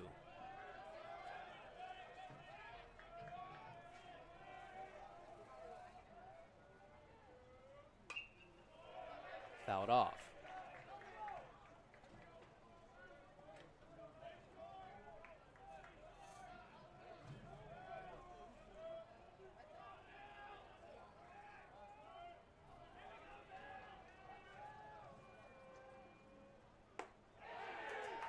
Appeal to first, and the first base umpire rings him up. Said Miller went around on the high fastball, couldn't hold his swing. So Ferguson able to strike out Miller for out number one. Right fielder, Austin Benoit.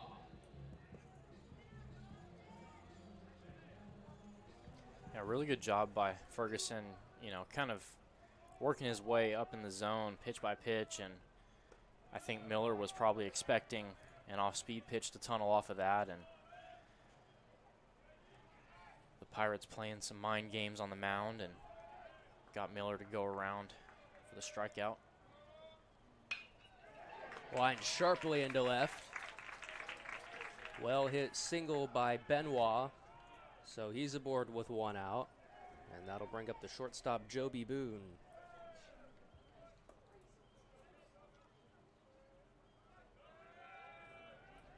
Shortstop, Joby Boone. Yeah, I just mentioned, you know, mind games, you know, between the hitter and pitcher of Southwestern. And I mentioned earlier that I knew Scott Lacey as he was my trainer when I went back home during the off season. And so I got a chance to go and have live at bats in the off season against some of the Southwestern pitchers. And so he was able to get to know my weaknesses, and I was able to figure out the weaknesses of some of his pitchers. And so it was always a fun time playing Southwestern every single time that we had a series against them, just because I knew it was going to be a chess match between the two of us, and kept things a little interesting. And Southwestern's got to be pretty close to your hometown, right? I think it's Yeah, I like mean- 30 miles north of Austin or so. Yeah, and with, with with my with my home in Pflugerville, I can hop hop on the toll road and get to Southwestern in about 10 to 15 minutes. wow. So just down the road from them. And I actually almost went to Southwestern. I was at least getting offers from them and decided to come here to Shreveport. Boone swings at the 0 2 and pops it up left side of the infield. Tanner, negotiating the third base bag, makes the, uh, the catch. Two down.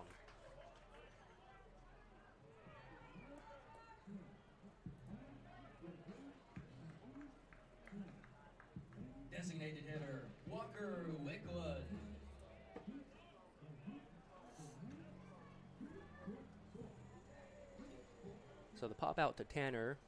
Brings up Wickland with two outs.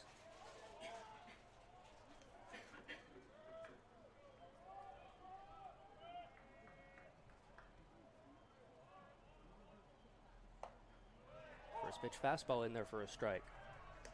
So, what was the swaying factor for you picking a Centenary over other options like Southwestern?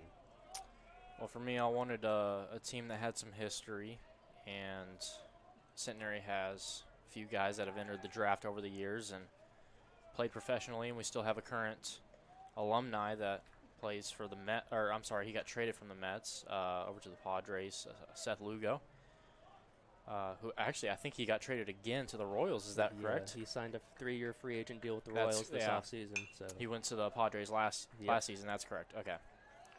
Um, but yeah, I, I wanted a team with some rich history and Centenary being D1 in the past, and also being a winning program over the course of years in its D3 era. I decided, you know, this this is home for me, and it was one of the best decisions I've ever made, and I got a chance to win a championship ring at the conference tournament my final year, so I'd say it was worth it. Yeah, when you look through the centenary record books and you see your name more often than not, you know, I think you made the right choice. 0-2 up high. Yeah, and I mean, I, I wanted a place where I was going to play all four years that I came to to college, and you know, obviously my, my dream, you know, growing up was playing for A and M. Well, obviously that didn't work out, but hey, I got to play every single year that I came here, and I was able to make something out of it. So I'd say it was worth it, 100%. Runner goes, pitch is taken inside. So an easy stolen base there. Benoit able to get himself into scoring position with two down. Yeah, with that, he just picked up his fourth stolen base on the year.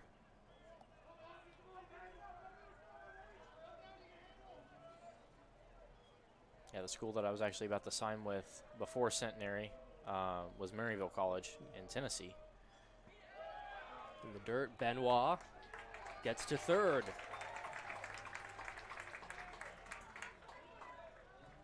Wild pitch allows Benoit to be 90 feet away from a potential third gents run. They lead 2 to 1 here in the sixth.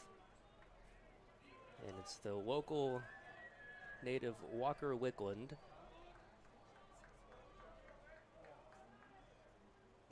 Checks his swing. Appeal to the field umpire, no swing. So Wickland draws the two out walk. Runners at the corners now for Colin Pitts. Center fielder, Colin Pitts. Yeah, really good at bat from the freshman Wickland to extend the at bat, see lots of pitches, and work his way on base for Colin Pitts, an RBI threat. As J.C. Bunch, the head coach of the Pirates, gathers the infield together for a mound visit. I remember when Seth Lugo broke into the league with the Mets. That was such a fun time to be at Centenary. Well, that was my freshman year, the fall of 2016, when when uh, Lugo was in his first year with the Mets, and then pitching the next March in the World Baseball Classic I was against just about Team to mention USA. that. Yeah, Man, I remember having watch parties in my dorm room with the other guys. Uh, that championship game against Team USA, and it was just a blast watching a, a alum. I, I believe Matt Vasgersian was calling that game for MLB Network, and he was. he yes. mentioned. I remember he mentioned Centenary College, and it, we, we all just went crazy.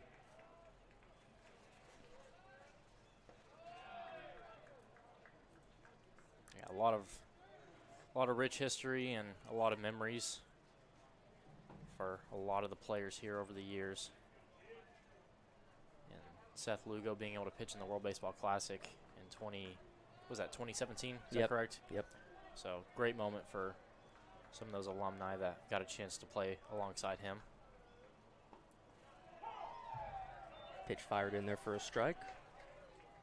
One and one. And the cool thing with Lugo is, I he, he, as far as I know, he still comes back every single year during the off season before spring training to get his work in, and gets a chance to throw to some of the guys that that currently play here and meet some of those guys. So really cool moment for them.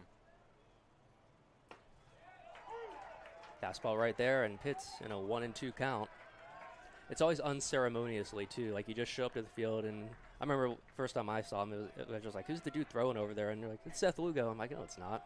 Then you watch him a little bit, the lineup looks just like him, and you're like, "Is that, is that really Seth Lugo?" I'm like, "Yeah, it's him." Yeah, and then you see his curveball. Yeah. it's like, oh yeah, that's him. Chris Zapata just over there catching Seth Lugo, no big deal. Just you know, get ready for practice.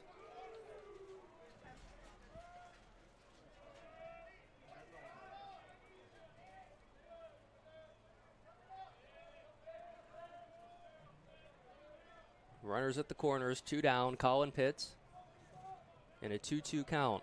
Ferguson comes set and comes home. Popped foul right side. That'll get out of play. Here we were talking about the sun earlier being a factor in the in the defense out there, and now it's turned to a grayish blue color in the sky, making it really difficult. I actually lost that ball once it got in the air. Yeah, every outfielder's worst nightmare, the uh, twilight zone, as it were. And there's a pop up right on cue. Vaquero and Tanner. It's going to be Vaquero who hangs with it. Nice play by the Pirates backstop. That'll get Ferguson and Southwestern out of the jam. We'll go to the top of the seventh inning. It's the Gents 2, Pirates 1.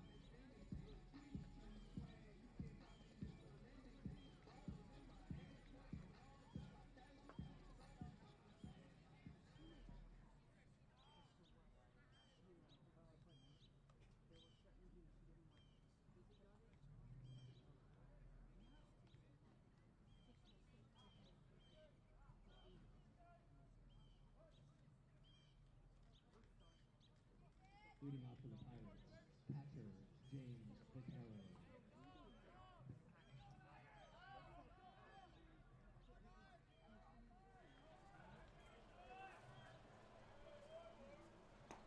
James Vaquero leading off for the Pirates as we begin the top of the seventh inning.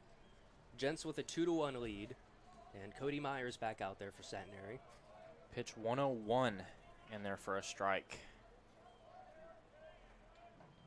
Swing and a miss. So Myers ahead in the count, nothing in two. Yeah, I know we mentioned Primo, Parker Primo earlier, throwing 130 something pitches in Yeah. one of his outings. Uh, I mean, it is early in conference play as he gets to Swing strike and a miss. But to finish that thought, it's still early in, in SCAC play, so I think there's a, a chance that Myers gets pulled after this inning, even if he does have a, a really good outing and a short number of pitches. Eighth strikeout for Myers, and yeah, you want to keep his arm, you know, fresh for the playoff run. Gents hope to keep on winning ball games and keep pace with Trinity in the SCAC. Off the end of the bat, Gauntz calls off Myers, fields and throws to first. Nice play by the Gents catcher. Play goes 2 3, and two quick outs for Myers here in the seventh. Third baseman, Jake Tanner.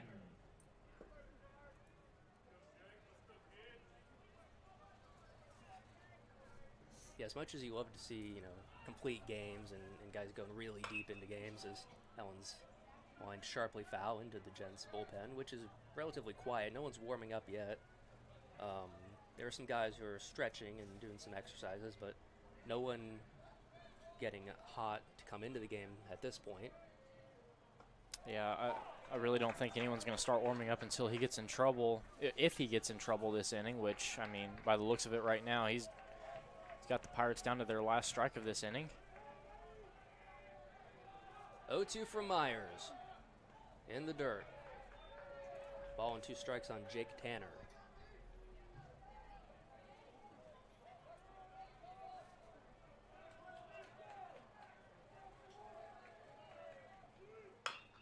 Grounded to third. Menard in on it.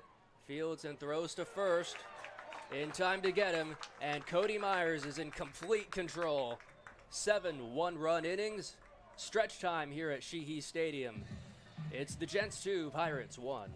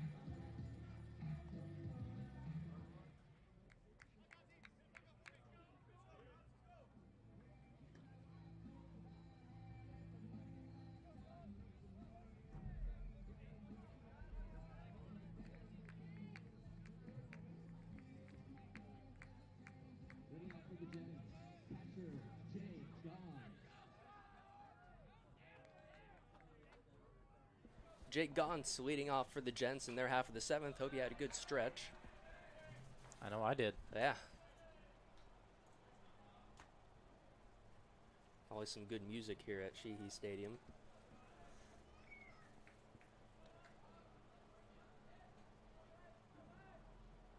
A one, swing and a miss. You always knew it was a Preston Ludwig day on the mound when you walked into the stadium and you heard Billy Squier blasting through Mhm. the speakers here. Great walkout. A couple of you guys didn't know that was a walkout the other day when it was playing during BP. Mm, gotta let him know. Kidding me?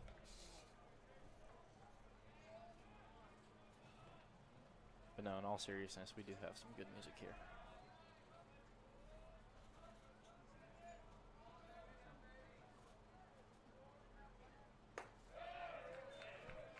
Two-two count on Gauntz.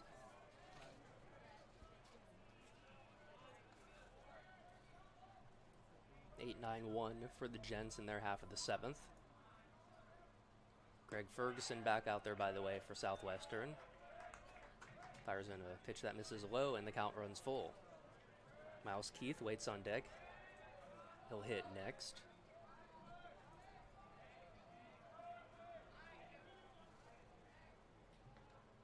Payoff pitch on its way.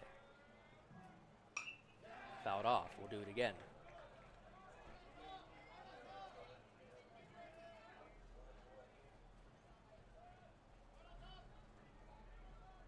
First and 12 ounces on the stream on YouTube commented, Where's Buddha? Well, Buddha is here in person this weekend. Yeah. Had an opportunity to talk to him earlier. Up high, ball four, and Gauntz draws the leadoff walk.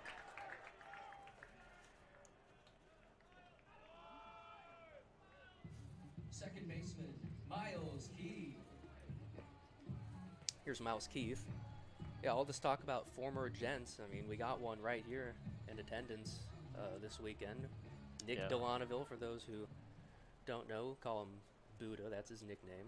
I mean, arguably one of the biggest Gents baseball fans in Diamond Gent history. Uh, he's got the custom Diamond Gent shirt. I think he might be the number one Gents I fan think of all he time. is. Really want to get him up here in the booth to do a few innings with us.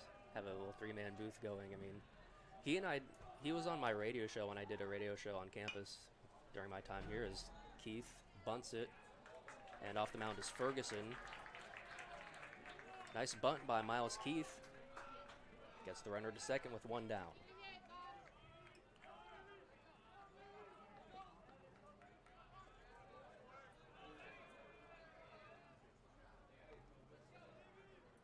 Left fielder Carson Livesey.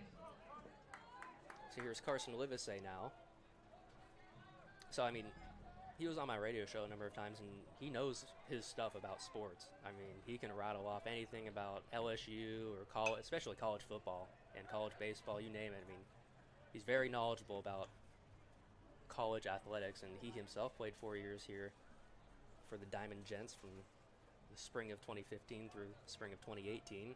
Yeah, I mean, talk about a great teammate. I mean, he was there for everyone every step of the way.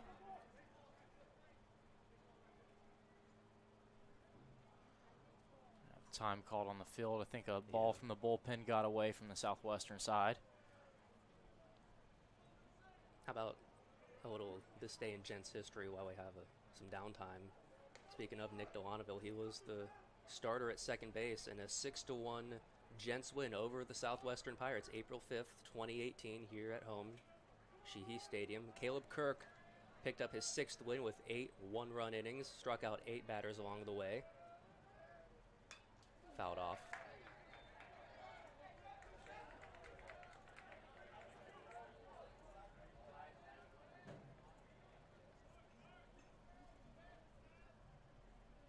Ian Graham able to pick up a couple of runs batted in in that game. Andrew Russell, Cole Laverne, pair of RBIs apiece for them as Gents went on to win six to one. You got into that game as a defensive sub at first base. How and Morales, the starting DH that Jake game. and Morales. What a name. Haven't heard that one in a while. Jake and one of the good guys in Gents history. I mean, really personable guy, very nice. Yeah, I mean, just a great kid all around. Came in with me in my freshman class, and even though me and him weren't, you know, terribly close, I mean, we were great teammates throughout the time that he was here as a gent. Fouled off.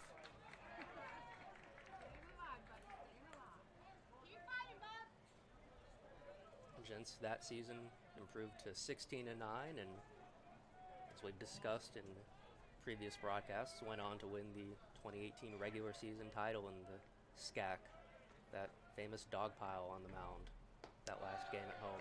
Yeah, if I remember correctly, I think I was playing first base at the time, and Cole Laverne got the final out. That's right. What a time that was here at Shehee Stadium.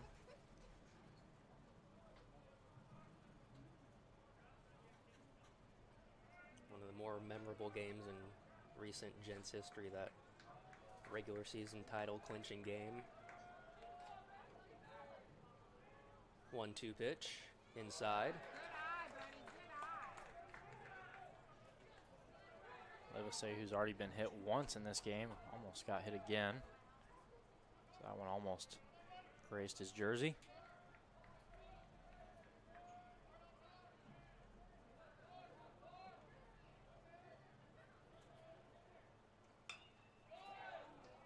Livesey fouls it off his foot, it looks like.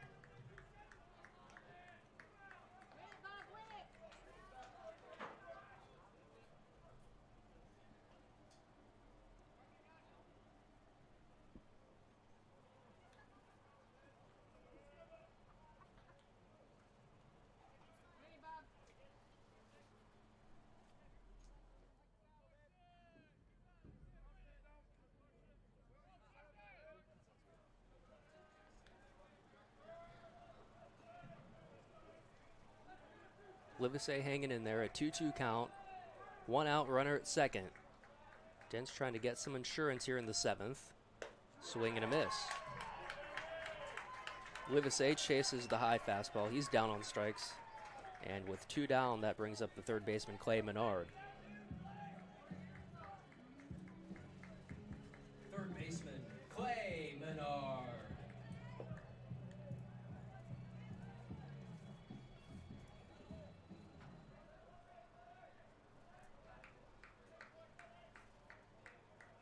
A tough, tough day at the plate so far.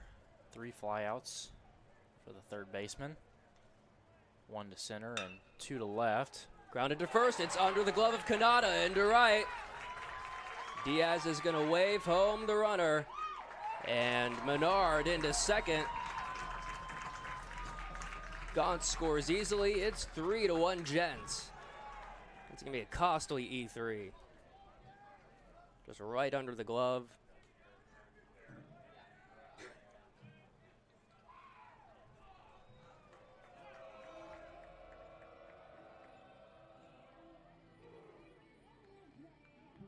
Alex. So big insurance run for the Gents. Yeah, big two-out run, despite it not being an RBI. Still comes across the plate. Gents expand their lead by a run.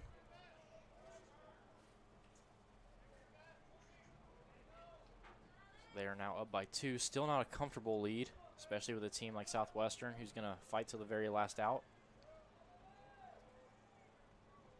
Another runner in scoring position for the Gents. Spin and a throw to second. Menard back safely.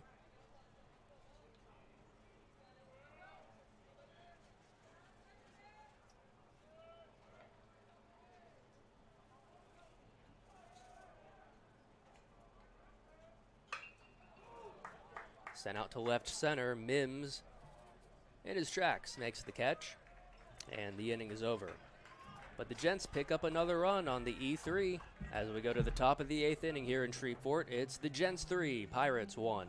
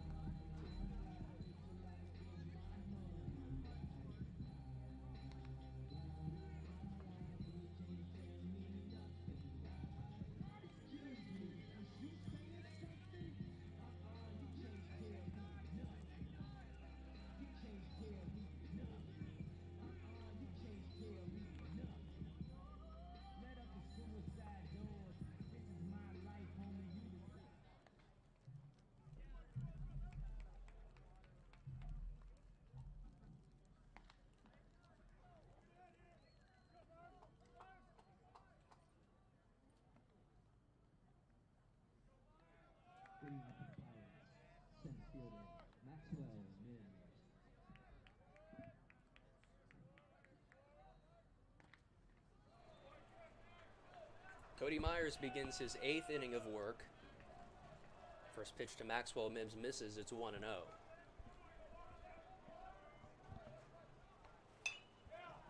Mims offers that pitch and fouls it off. 1 and 1. Pair of right handers begin to loosen in the Gents bullpen. Yeah, Cody Myers came into this inning with 109 pitches to this point, so I think this will most likely be his last inning. Gets a swing and a miss there, and it's 1 and 2.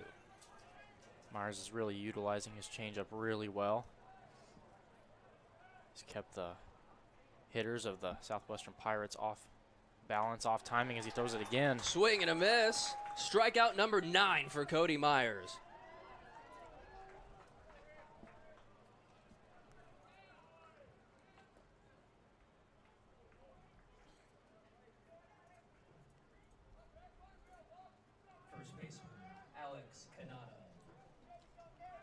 Here's the first baseman, Alex Kanata, trying to atone for that error he made in bottom half of last inning. First pitch is in there for strike one. Yeah, Kanata this year actually making the transition over to first base. I was talking with Scott Lacey, assistant coach for the Pirates, for the game. Short Boone to his left. On to first, route number two. Go ahead, Preston. Yeah, I was at, I was having that talk with Scott Lacey, and we were talking about the uh, the freshman four year over at shortstop, as uh, they were actually both coming into coach's office for the Pirates, saying that they were trying to plead their case for who's going to start on the left side of the infield for him, as Kanata was over at third base and short a little bit for for the Pirates as well. And you know it, it's good to see that as a coach you know seeing and recognizing other players on your team as competition and battling for a, a spot on the field I, I did that with Cole Laverne over at first base when he was here and so I mean it, it's it's always good to see competition within a team battling for a spot but you know Kanata great defender and I mean obviously costly mistake over at first base last inning but take that with a grain of salt. You know, he's a great defender overall for the Pirates. Myers ahead in the count, one and two.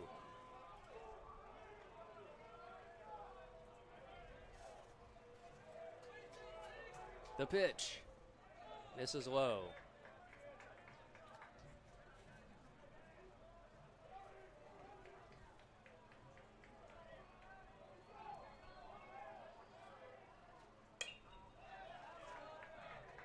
Morgan able to fight that one off, and the count stays two and two.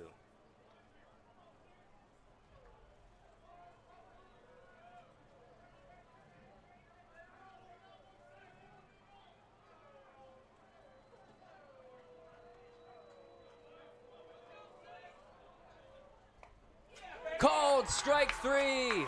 Ten strikeouts for Cody Myers. Double digits for the Gents lefty. And he's authored eight brilliant innings.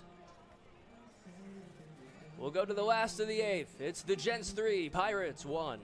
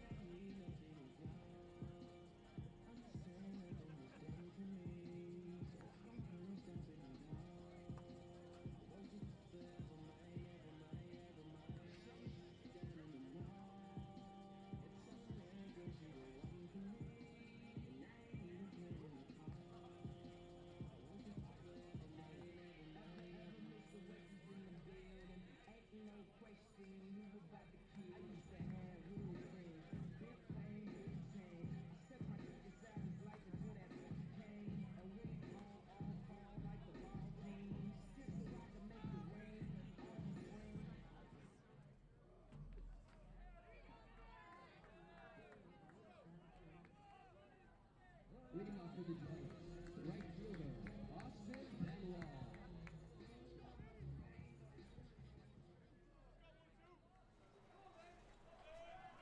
Middle third of the Gents lineup out there to greet the new Pirates pitcher, Kyle Porter, a right hander. Austin Benoit leading off, Gents cleanup hitter, and a 1 0 count. Takes the next pitch outside, and it's 2 and 0. Porter. Oh, Sorry, go ahead. I was just going to say Porter from Carrollton, Texas, the senior. Six appearances on the year, eight and two thirds innings worked, 6.23 ERA, only giving up six runs, six earned. A pretty solid start for Ferguson. Seven innings, three runs allowed, and the last of those runs was unearned on the error. So, pretty good start from the Pirate right-hander, but in line for the loss now. Yeah, looking into the book, I mean, definitely a quality start for Ferguson. So nothing to hang his head on. Gents looking for some insurance here in their last, in their half of the eighth. 3-1 outside, and Benoit draws the leadoff walk.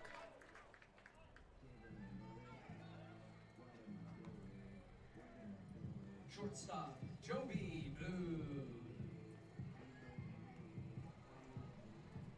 Here's the Opelousas native Joby Boone.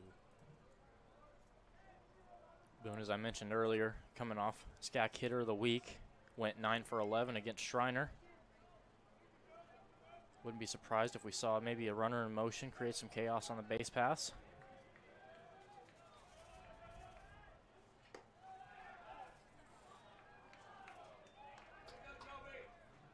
Especially after the leadoff walk, it's sometimes in an offense's best entrance, best interest to get something going on the bases and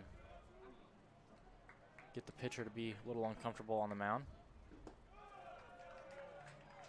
Boone takes low, and he's ahead in the count. Two balls and no strikes.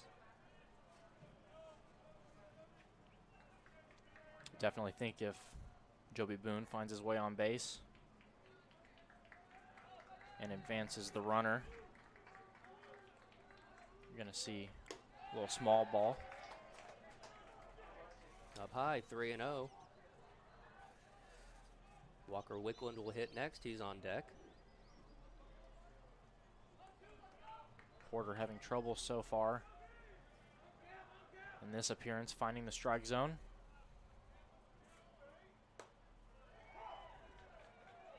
He does find the strike zone there. It's 3 and 1. Yeah, back to back at bats, working the counts of three and one. Pirates do have a lefty warming up in the pin to potentially face Walker Wickland. And fastball inside for ball four. Runner was off with the pitch. It's a moot point as the base on balls puts a pair of gents aboard. Yeah, and I think with that, that may be it for Porter potentially as assistant coach Scott Lacey is going out to talk with his pitcher. Maybe giving pitcher down in the bullpen a little bit more time. Yep, that'll be it for Porter. So we'll see a new Pirate pitcher coming on in relief. Couple of gents aboard. Nobody out here in the eighth. Gents lead by two. It's three to one.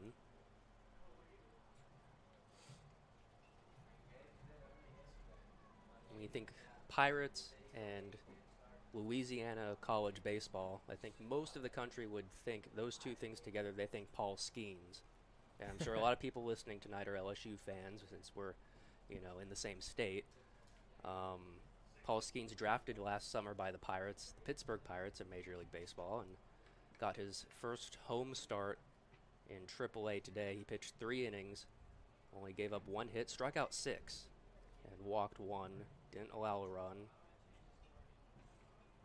44 pitches, 32 of them were strikes. So, uh, bright future ahead for the former LSU Tiger Paul Skenes.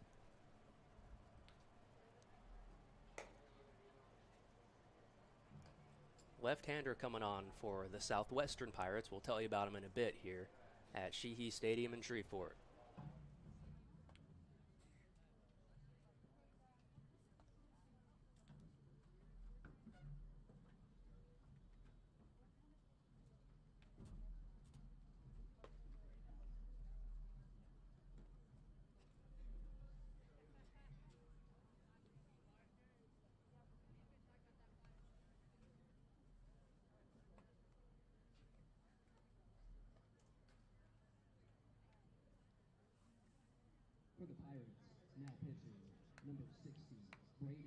Braden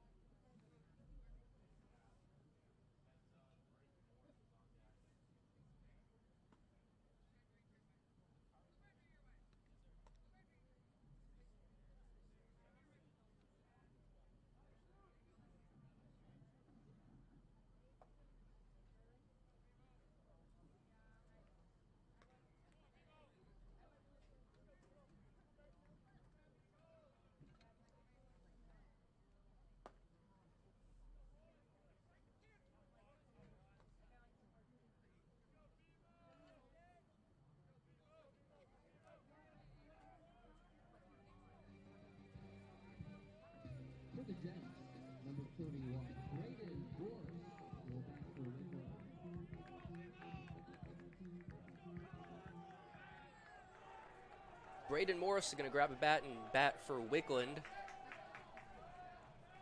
against Braden Simpson, the Pirate Southpaw. So Mike Diaz, head coach of the Gents, playing matchups here. Pinch hitting the righty hitting Morris for the lefty hitting Wickland.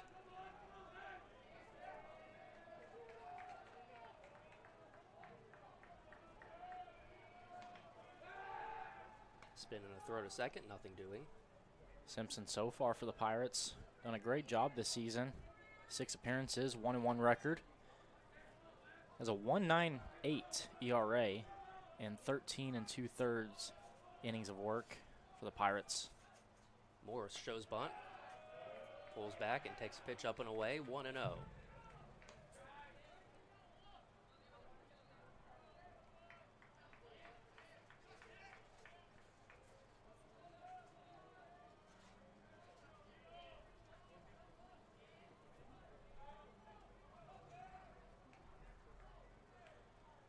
Again squaring around, spin and a throw to second, runners back.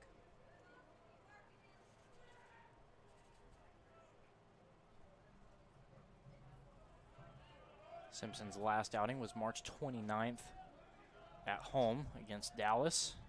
One inning of work, two earned runs. Foul bunt, and it's one and one. Benoit, the lead runner at second. Boone, the trail runner at first. Gents with a two-run lead, and they want to scratch across a few more. Bottom half of the eighth inning. And Braden Morris does have a good opportunity here. I mean, he's, you know, he, he was in question of starting at second base tonight. It's been a huge battle between him and Miles Keith of playing time, who's going to get the start each day. He's really done a good job at the plate and defensively for the Gents.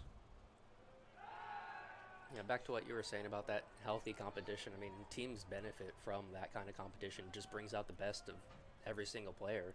I mean, even going back to your freshman year, there was so much competition that year. So many freshmen came in, uh, came in that season, and Yeah, I think my incoming class or my freshman class was 34 players. Wanted, and Tanner's going to smartly let it roll foul.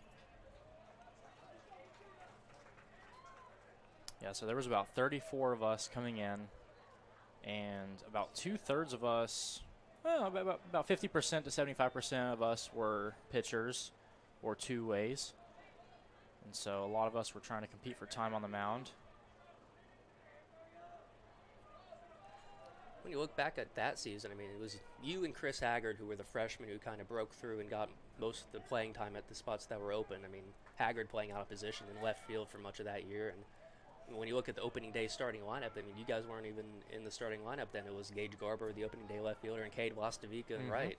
I mean, guys just battling for positions, and Diaz loves to play the hot hand, and it was eventually you and Haggard who were able to run away with most of the playing time that season. Yeah, and I mean, even with you know me and Haggard getting that time, you know, starting later in the season, I mean, it was still a battle. You know, are we going to keep our spots? I mean, that, that, that's the internal competition within a team that you just love to see. Guys are constantly battling for a posi- position on the field, battling for playing time, and it ultimately just brings the best, like you were saying, out of every single player. Runners go. Uh, Baltimore chop right side. Second baseman over. Oregon's throw to first. In time to get him.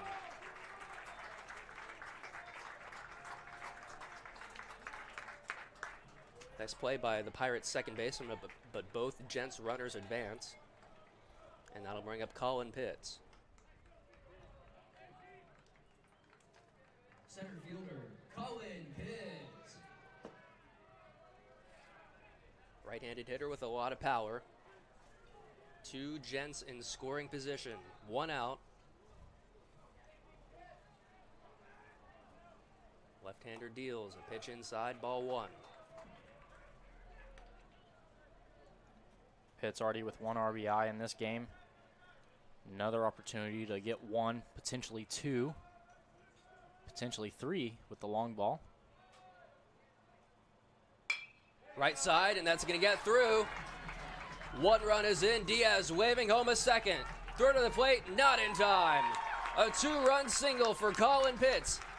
And the Gents break it open. It's 5 to 1 Centenary.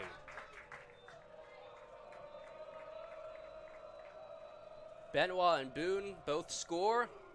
A big two run single for Pitts. Catcher, Jay Goggins.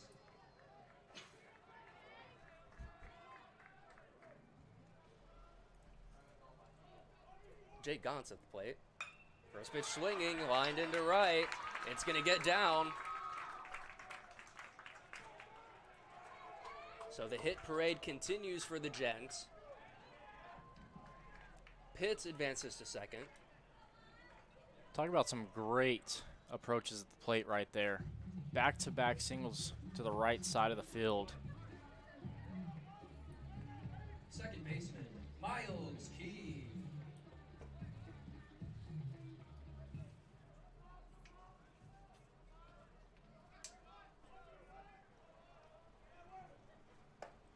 First pitch to Miles Keith in there for a strike. I think that's one of the things that makes the Gents so dangerous is their approach at the plate is so solid. I mean, Pitts is a guy who can hit it, you know, 400 or so feet. He did it a couple times at the Cleburne tournament last season, and he's pushing the ball to the right side, looking to hit a ball through the vacated right side of the infield, and that's just what he did. Yeah, And and I mean, situational hitting, smart hitting. Yeah, and I mean the the Gents early on in the season, you know, before conference and even to start out conference, were kind of shaky offensively. You know, guys didn't really know their identity at the plate, and you know they kind of changed some stuff up during BP in practice, and things are really you know turning around for them offensively. Right-handed hitters love hitting against lefties, generally speaking. I mean, you know, Pitts a guy not trying to crush the ball, just trying to go the other way. Gauntz going the other way, not trying to, to pull the ball, do too much, understanding the assignment and getting a job done. Yeah, and I mean it takes a lot mentally too to get in there and try not to be too big at the plate against someone that you know you can do damage to, and sometimes that damage comes with a simple approach and trying to drive the ball up the middle the other way.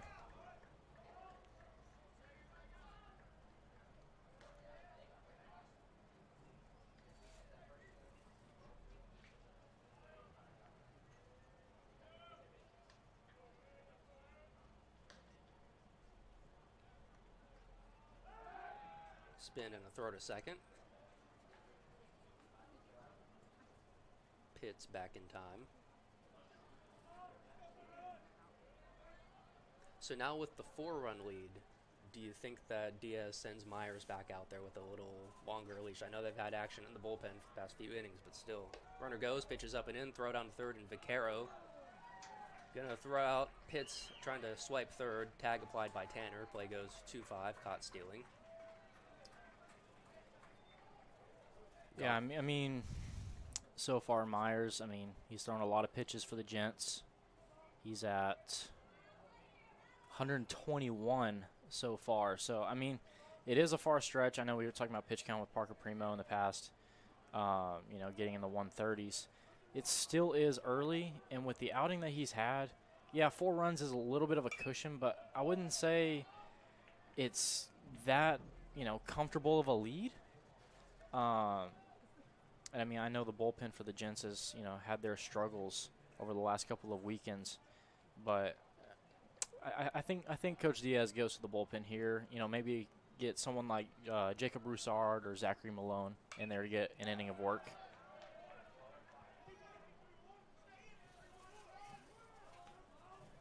Yeah, but wouldn't that be some kind of a story? I mean, back-to-back complete games for Cody Myers. I mean, That would that would be something else.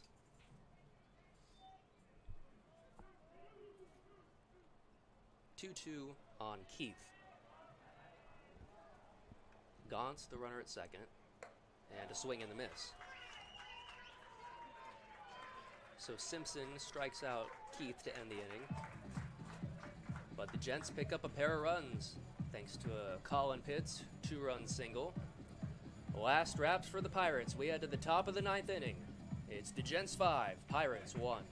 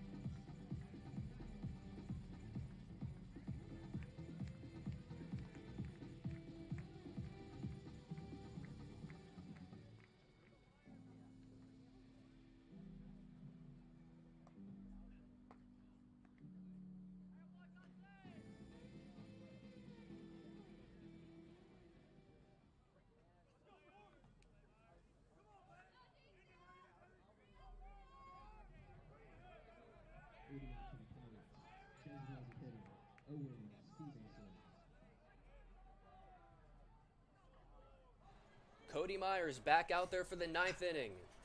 Owen Stevenson, the first batter to greet him here in the ninth.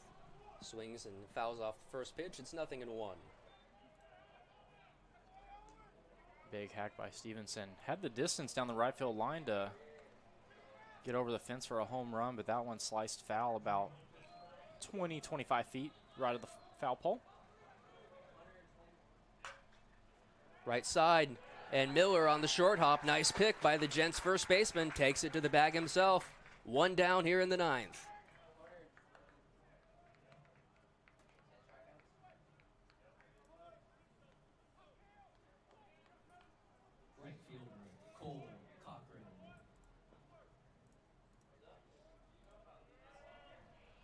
First pitch to Cochran. Misses low. 1 0.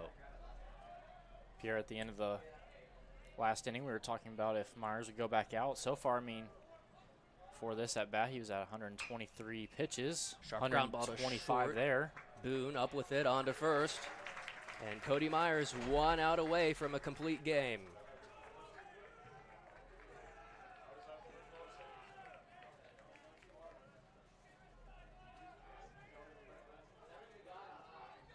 Shortstop, Ben Foyer.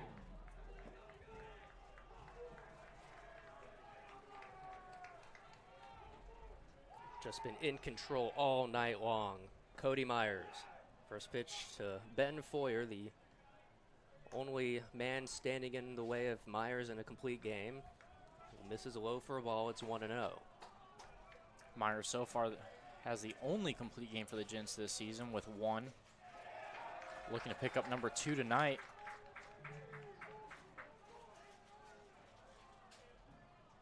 Be his second complete game in a row. 1 1 in the dirt.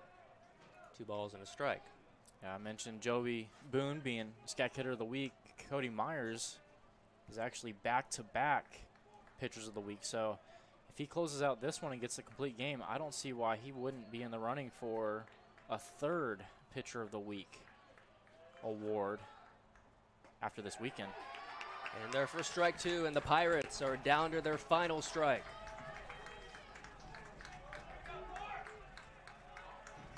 The crowd comes alive here at Shehee Stadium. Myers winds and deals the 2 2.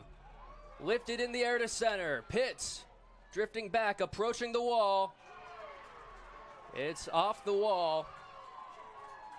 And Livesey over to retrieve it. Runner is going to be held at third. A two out triple for Ben Foyer, the number nine hitting shortstop. Pitts banged up against the wall there in center field and went down. Centenary athletic trainer is going to go out there and take a look. Got to be weird uh, with this temporary wall out there. I mean, so used to the, the sheet metal wall, and you know, it would be, nice to have some padding out there next year. But this looks like it's just a like a, a metal gate with a tarp over it. Yeah, it's just like a chain link fence.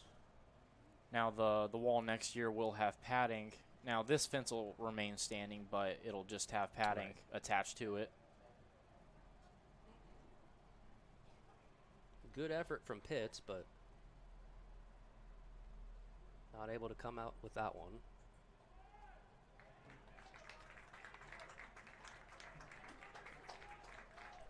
Looks like he gave the athletic trainer the okay. Now to bring up James Vaquero for the Pirates. Catcher, James Vaquero. So the first batter Myers faced tonight greeted him with a single. And they meet again here in the top of the ninth inning. High in the air to left, Livesey drifting back, approaching the track, makes the catch. A complete game for Cody Myers. Absolutely dominant. 10 strikeouts and a masterpiece for the Gents left hander. Back to back complete games for Cody Myers. What a roll he's been on, the sophomore out of Friendswood, Texas. The undisputed ace of the Diamond Gents leads them to a game one victory over the Pirates. We'll come back with the final totals right after this. Gents win game one.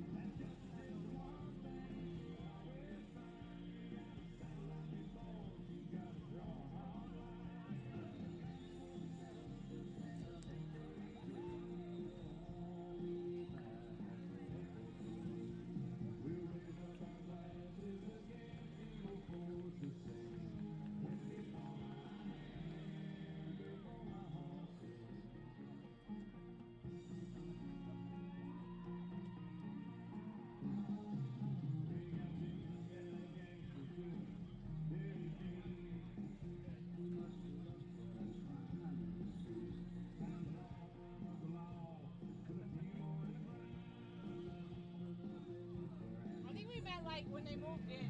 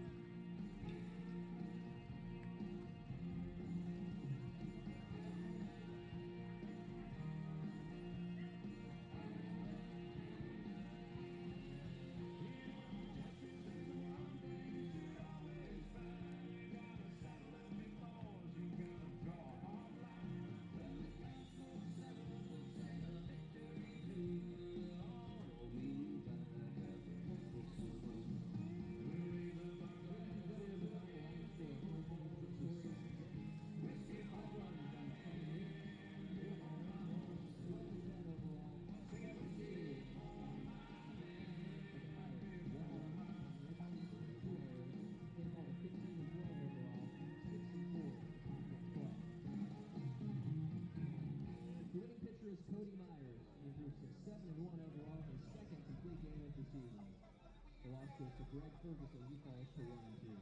Time of the game, two hours and 25 minutes.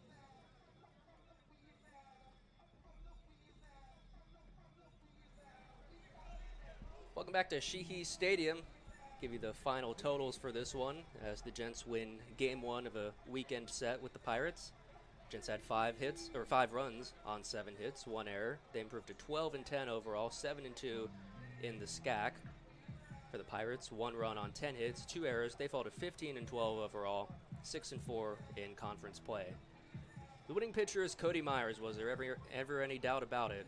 Second complete game of the season, seven and one uh, record on the year. Just absolute dominance from the uh, sophomore southpaw. Loss goes to Greg Ferguson, one and two on the season, and time of the game was two hours and 25 minutes. Preston, do you like what you see from uh, Cody Myers? I did. I mean, he just continues to shine on the mound and be a dominant factor for the Gents as uh, as their number one on the mound. I mean, he started off, you know, struggling the first couple of innings. Uh, Pirates squeaked across a run early in the game, and he just held in there and kept his team in it, kept fighting, and found ways to get guys uncomfortable in the box, throw a lot of strikes. Didn't give up too many free bases. I mean, just overall a dominant performance. I, I think he's got a, a good chance of being a contender for SCAC Pitcher of the Week again for a third week in a row. I mean, we'll just have to wait and see what happens. Just complete dominance from Cody Myers tonight. Just the one run, 10 strikeouts. I mean, he was uh, on point tonight, and timely hitting for the Gents told the tale as they claimed the first game by a final of 5 to 1. And uh, it was not a good late night with Greg Ferguson.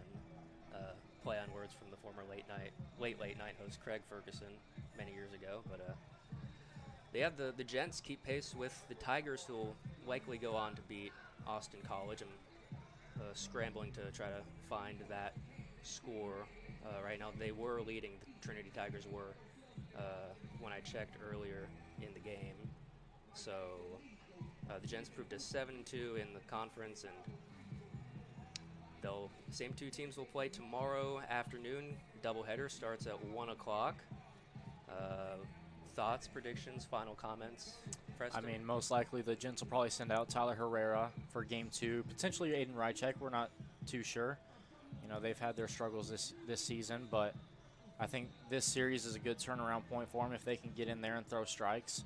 So we'll just have to see what happens. Uh, but yeah, final thoughts for the game today for the Gents offensively. I mean, top of the lineup kind of struggled. Uh, the one through three hitters all hitless, but the middle of the lineup really, you know, kind of carried the weight and found ways to get runs, you know, with uh, with one or two outs in the in the inning, and you know they just found ways to create chaos on the base pass, place a small ball, and I think that was the ultimate factor for tonight. Yep, Colin Pitts some timely hitting right there at the end, picking up a pair of runs batted in, and just a, a well-rounded effort by the Diamond Gents, led by their ace Cody Myers. Congrats on uh, back-to-back complete games. Uh, TLU, by the way, leading Schreiner, or that game just went final in 10 innings, two to one. Bulldogs beat Schreiner, and Trinity leading Austin College four to nothing in the fifth. So, if that score holds, then the Tigers will remain a half game ahead of the Gents, and it'll set the stage for a pivotal doubleheader tomorrow afternoon. First pitch scheduled for 1 o'clock. Preston, thanks so much. It's been a blast. Uh, look forward to tomorrow, where these two teams will meet again here at Shehee Stadium.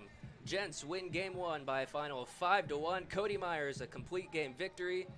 And we thank you for tuning in tonight on Centenary Athletics YouTube. Talk to you tomorrow. Pierre Bida saying so long and good night from Shreveport.